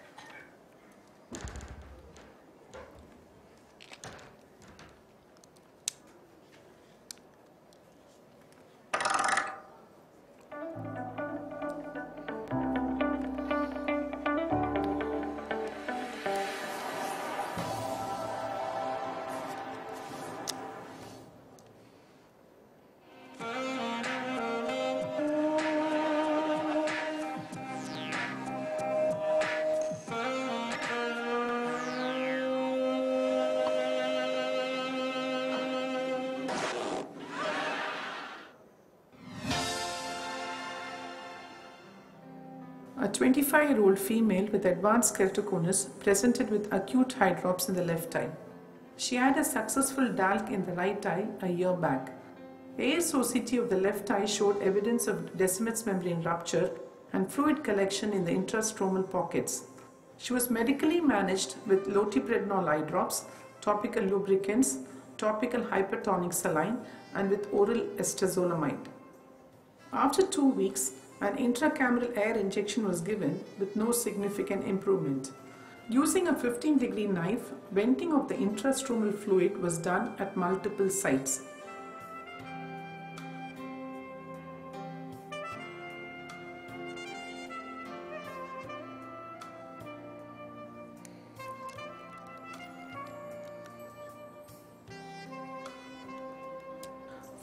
This, a non-expansile C3F8 gas injection was given to provide a tamponade.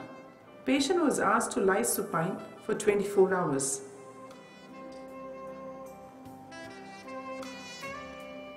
On the first post-op day, ASOCT showed a flattened Descemet's membrane and a reduction in the hydrops. Over a one-week period, the fluid pockets expanded and coalesced with increase in size of the hydrops and a threat of impending perforation. With the fluid pockets increasing in size over a one-week period, an unconventional surgical intervention of lamellar keratoplasty was planned. A 9.5 mm partial corneal trephination was done encompassing the cone.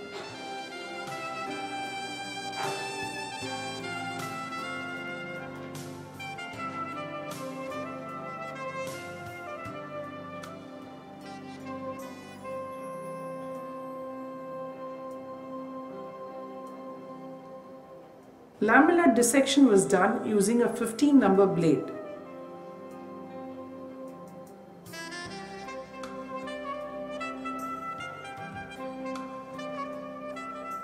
Dissection over the area of perforation was done using a crescent knife.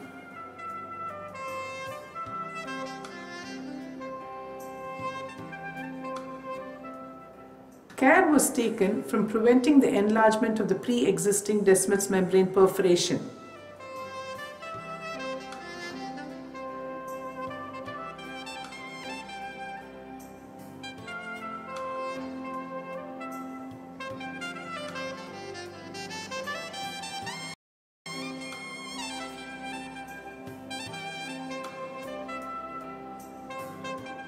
A lamellar groove was created 360 degrees to aid in suturing.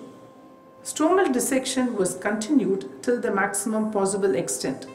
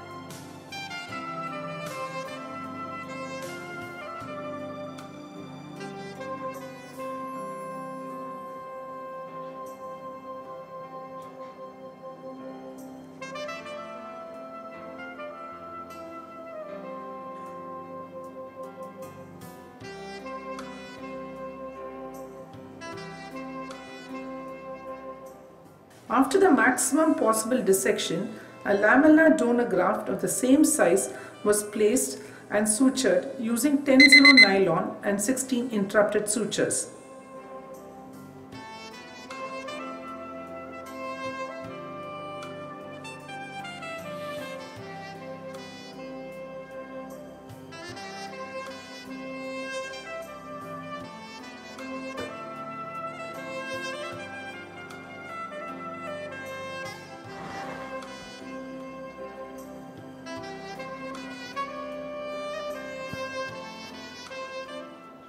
Postoperatively, patient regained excellent visual acuity with a clear graft. The area of perforation was completely sealed with no impact on visual acuity.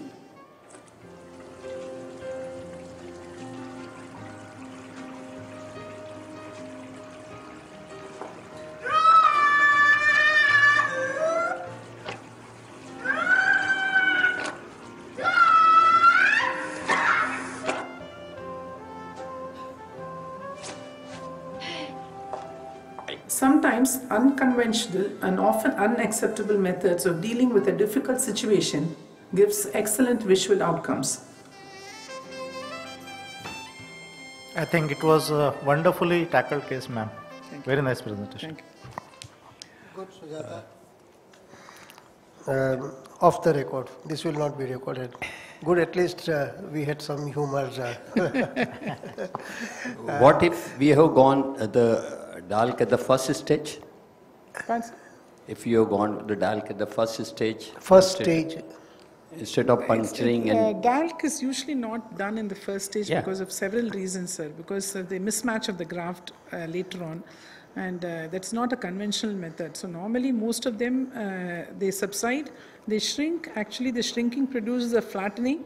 Also, because of the scarring, there's something strengthening of the keratoconus uh, taking place. So ideally, actually, they can even improve in vision. So ideally, it's better to wait. But in a situation like this, where it was going on expanding and the patient was having a lot of pain, I thought I, I should go inside. It's, it's not the conventional method.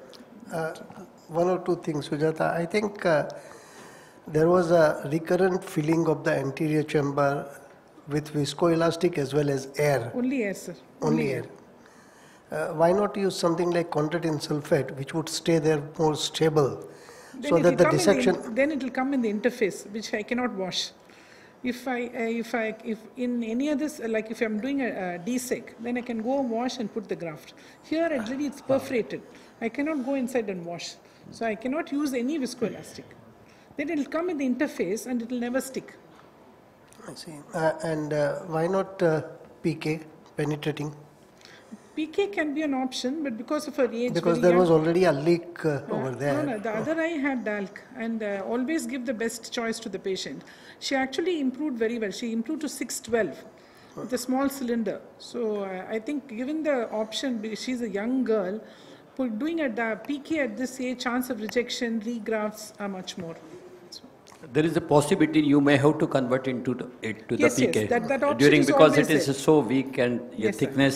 Thickness probably in the center is very less and Yes, sir, if the perforation had extended, Yeah. and I, I would have definitely come. Then you have to- So always keep a good uh, eye with you. At one point, when we were trying to drain it, you know, by, with the superficial punctures, I thought that the aqueous had leaked out.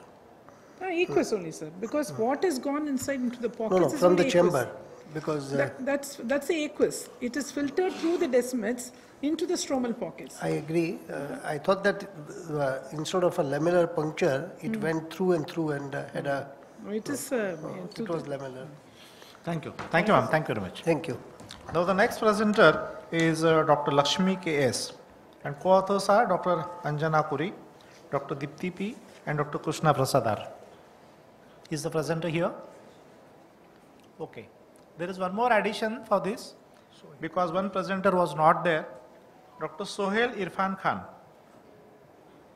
And He's absent. Yeah. So he'll be presenting uh, magic pre-chopper.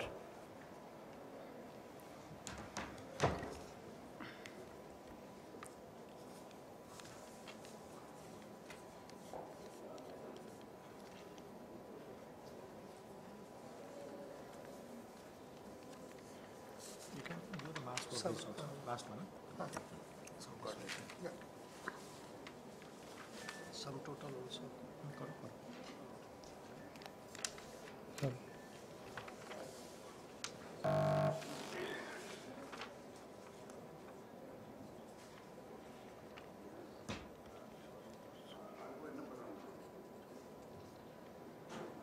For a phaco surgeon, dealing with hard cataracts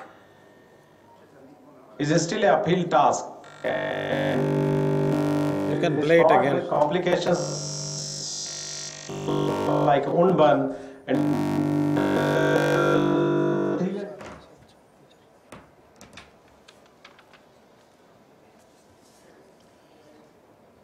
I think I have seen this video. A nice innovation. Definitely you are going to see something new.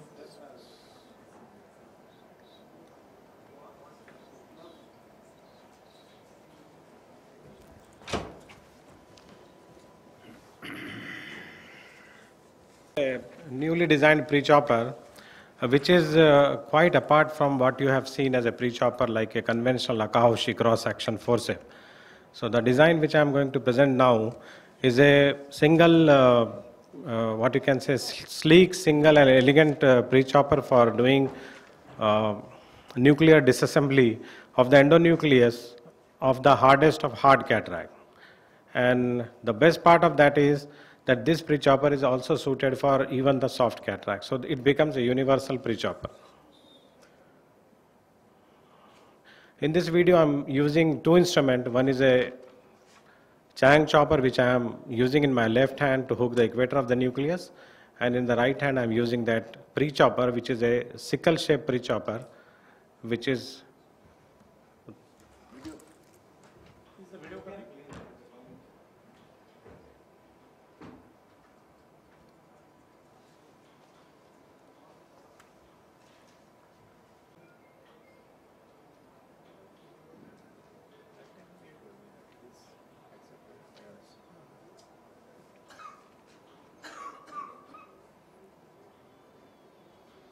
If there is no you can uh, do to yourself.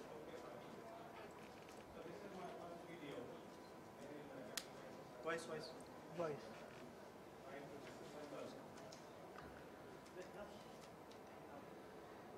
So in my right hand is that, that pre-chopper which I was talking about.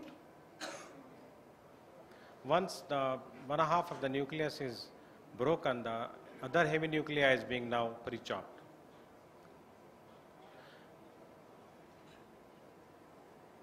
And once you pre-chop those, uh, that in- hard endonucleus, then you have to deal with the pie-shaped fragments. This is a intermittent hard cataract with a pocket of uh, liquefied cortex which can produce an Argentinian flag sign which I am taking care of. And this is again the maneuver, same maneuver. The left hand is hooking the equator of the nucleus with the help of a Chang chopper and the right hand is having that pre-chopper. Now this is how the pre-chopper looks.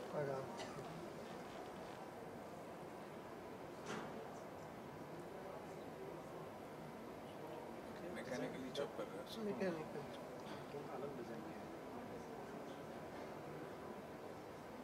Experience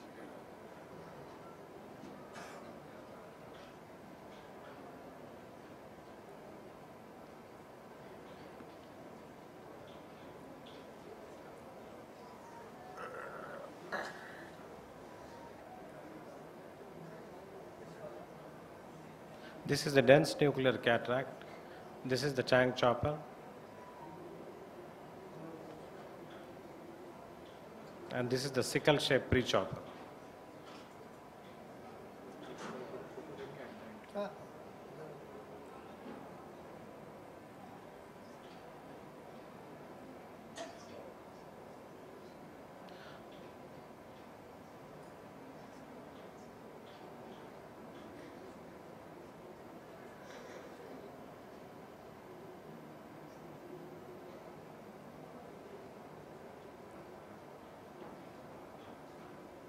What you also need to appreciate is that the edges of this broken endonuclei are almost steep like a femto assisted cataract surgery. They are very steep.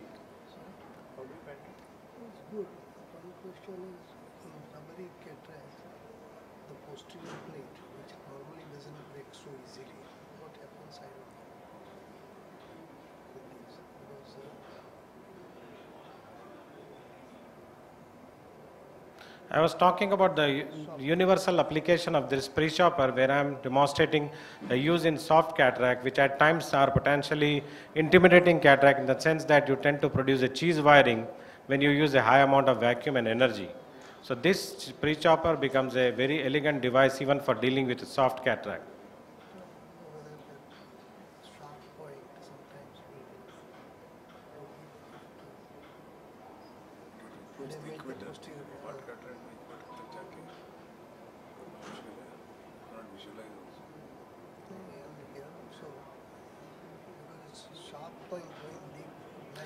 Now, this is a situation which nobody want to face during a phaco surgery. However, you take care of uh, by aspirating the uh, intralenticular content to reduce the intralenticular pressure. But in a young patient, this is a known catastrophe that can happen anytime wherein you produce the Argentinian flag sign. And then whether to proceed or not is a definitely a very big question in, the, in your mind. So what I am doing now is making a two-pointed incision and converting those stray torn capsule into a pseudo capsulorhexis. Of course, this is not a complete rhexis, but because I know that my forces of the two instruments are directed towards each other, so this becomes a zonule friendly kind of uh, maneuver and I can proceed.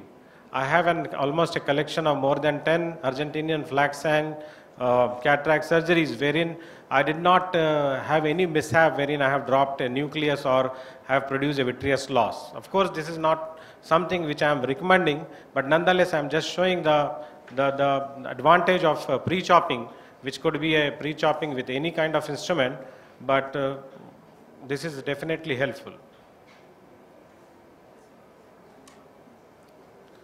The second part of the video, because eight minutes has been given, I am just completed five minutes, uh, just a very small clip of what I am going to show that this pre-chopper is also um, applicable in SICS kind of uh, uh, surgeries also. Just one video. Dr. Sohail, this Yeah. is a competitive session. You are supposed to show one video per author. Yes, sir, but because I was running, uh, I say it's Anyway, you five share minutes it, you share it with us. If you want, I can stop. No, no. What you are showing, you can share it with us. If it's Yeah, small. I'll, I'll play it short. for only one minute, only one minute you give me, I'll, I'll finish it off. I'm performing a SICS through two millimeter incision.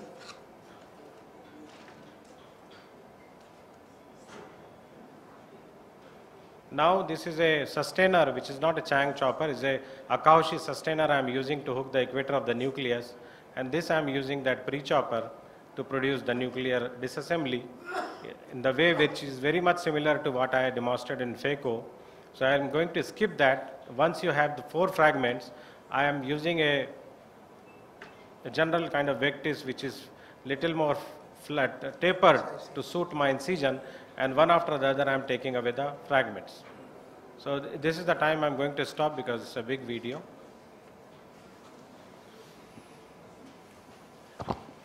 Thank you, Sohail. Uh, One small point which I have doubt in my mind. uh, Yes, sir. It's very sharp at the posterior end, uh, at the deeper end as well. Yeah.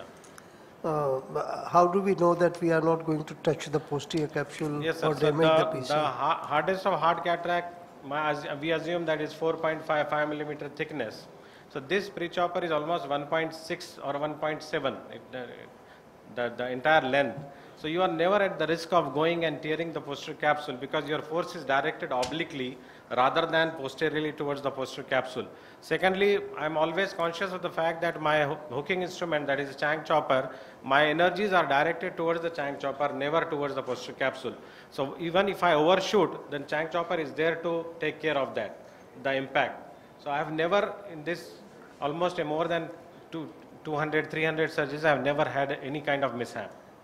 No, we definitely go by your word. There is no question about it. It's just the trying to sort it out. You said the depth, the length, uh, The- the- vertical, yeah, the- vertical. uh, Yeah, vertical uh, aspect Component is 1.7 or. Seven, yes, sir.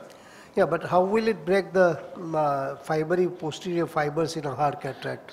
So extremely dense cataract like grade 5, which is beyond Correct, our we know- classification. Yeah. No, even when we do a phacoemulsification and a chop, quite often we find that it's uh, practically impossible to, you know. So in that situation, I rotate that. Even if my, I mean, say crack is not complete, I'll rotate it and do it on the other side. And I can put a lot of visco and separate with, with a dialer. Two instrument going into the depth of the crack. So that helps me to produce the, Those of us who are not used to going to the equator may need a lot of training. yes, So- that is, that is the only, I mean to say, training kind of part which you require to be conscious to hook the equator. Once you master as a horizontal chopping surgeon, there are so many people.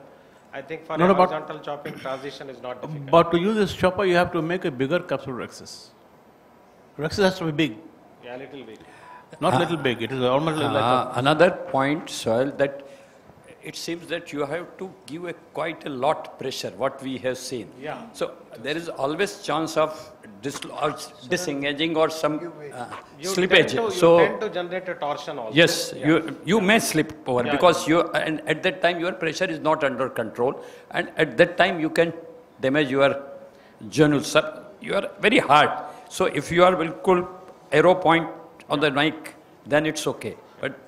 But you can miss many times The even in moment a you cross the center of the uh, nuclear, endonucleus, I'm becoming very conscious that I'm going to hit the Chang chopper which is standing there to help me rather than undershooting or but there, there is a possibility of slip over. Na? Yeah, there is a possibility.